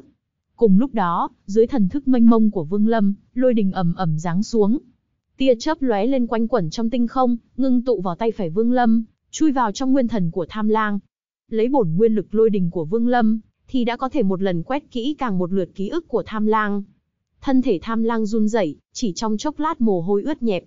Nhưng cũng chính trong lúc này, tay phải Vương Lâm vung lên, ném Tham Lang ra xa. Ta cũng không lấy không pháp bảo của ngươi, ngươi đi đi. Sắc mặt Tham Lang trắng bệch, lập tức cắn chót lưỡi phun ra một ngụm máu tươi, hóa thành một đạo cầu vòng vội vàng lóe lên, chớp mắt một cái đã không thấy bóng dáng hắn. Trong tinh không, ánh mắt tham lang lộ vẻ khiếp sợ sau khi chết hụt, lại còn tràn ngập ủy khuất. Đây là lần thứ hai ta bị hắn đoạt pháp bảo. Ta thể suốt đời này sẽ không để chuyện này phát sinh lần thứ ba. Lúc này pháp bảo đã mất sạch, mà ở vùng đất điên lạc này quá mức nguy hiểm. Ta phải nhanh chóng trở về động phủ lấy những vật còn lại, rời khỏi vùng đất điên lạc. Tham lang vừa bỏ chạy, vẻ ủy khuất càng nồng đậm, sau khi đổi hướng đi vô số lần, xác định Vương Lâm không đuổi theo, thân thể liền nhoáng lên, biến mất hoàn toàn. Khi hắn xuất hiện thì đã ở trên một tu chân tinh. Hắn vừa hiện thân liền bay thẳng tới một ngọn núi, trực tiếp hóa thành một đạo cầu vòng lao vào trong ngọn núi, tay áo vung lên. Ngọn núi liền truyền ra tiếng ầm ầm, xuất hiện một đạo khe hở. Tham lang không chút do dự tiến vào. Nhưng ngay trong nháy mắt khi hắn tiến vào động phủ thì thân thể sững lại, một luồng hơi thối từ bên trong cái khe truyền ra, áp vào mặt hắn suýt nữa khiến hắn ngất xỉu. Sao lại thối như vậy? Tham lang vừa mắng, đột nhiên ngẩn ra, kêu lên sừng sốt. Hắn vội vàng đưa tay lên chóp mũi, cẩn thận hít hà, sau đó lộ ra vẻ không thể tin nổi. Mùi thối trên người ta đã không còn. Ngay cả khứu giác cũng khôi phục bình thường. Mùi thối vốn từ trong phủ tạng, ta đã quen, căn bản là không thể ngửi được. Ánh mắt tham lang lộ vẻ vui mừng. Mấy trăm năm qua hắn đã luôn mơ tới việc giải quyết được hơi thối trên người. Sau khi gặp phải Vương Lâm, mất đi cơ hội đoạt thi thể bọ cạp vạn cổ, vốn đã tuyệt vọng nhưng lúc này, không ngờ lại có thể loại bỏ được mùi thối trên cơ thể. Ta cũng không lấy không pháp bảo của ngươi. Tham lăng lập tức nhớ lại lời nói trước khi đi của Vương Lâm, thần sắc lộ vẻ phức tạp. Bỏ qua cho tham lang xong, Vương Lâm xoay người cất bước, trở tu chân tinh của ám hạt tộc. Tham lang không ngại cách trở giữa giới nội và giới ngoại, tới tận thái cổ tinh thần này chờ mình, đem pháp bảo tới giao cho mình. Hơn nữa, còn có niềm vui khi tha hương gặp lại cố chi khiến cho Vương Lâm, không thể ra tay giết hắn. Tham lang, Này đúng là phúc tinh của ta, không thể giết, phải thả ra. Ta còn rất chờ mong gặp được hắn lần thứ ba. Đến lúc đó không chừng lại có thêm một ít pháp bảo nữa. Vương Lâm mỉm cười, lắc đầu liền xuất hiện trên tu chân tinh của ám hạt tộc. Gần một ngàn tu sĩ của vân độn tộc lúc này không dám rời đi, vẫn đang ở đây chờ đợi. Trung Đại Hồng vừa hưng phấn, khí thế cao ngất trời chỉ vào mấy tu sĩ vân độn tộc đang chữa thương cho mình, nằm nghiêng ở đó không ngừng hừ lạnh. Mỗi một tiếng hừ lạnh này khiến cho đám người này đều run rẩy tâm thần. Ánh mắt họ nhìn về phía Trung Đại Hồng đều lộ vẻ kính sợ. Bọn họ không phải sợ Trung Đại Hồng mà sợ chủ nhân của Trung Đại Hồng.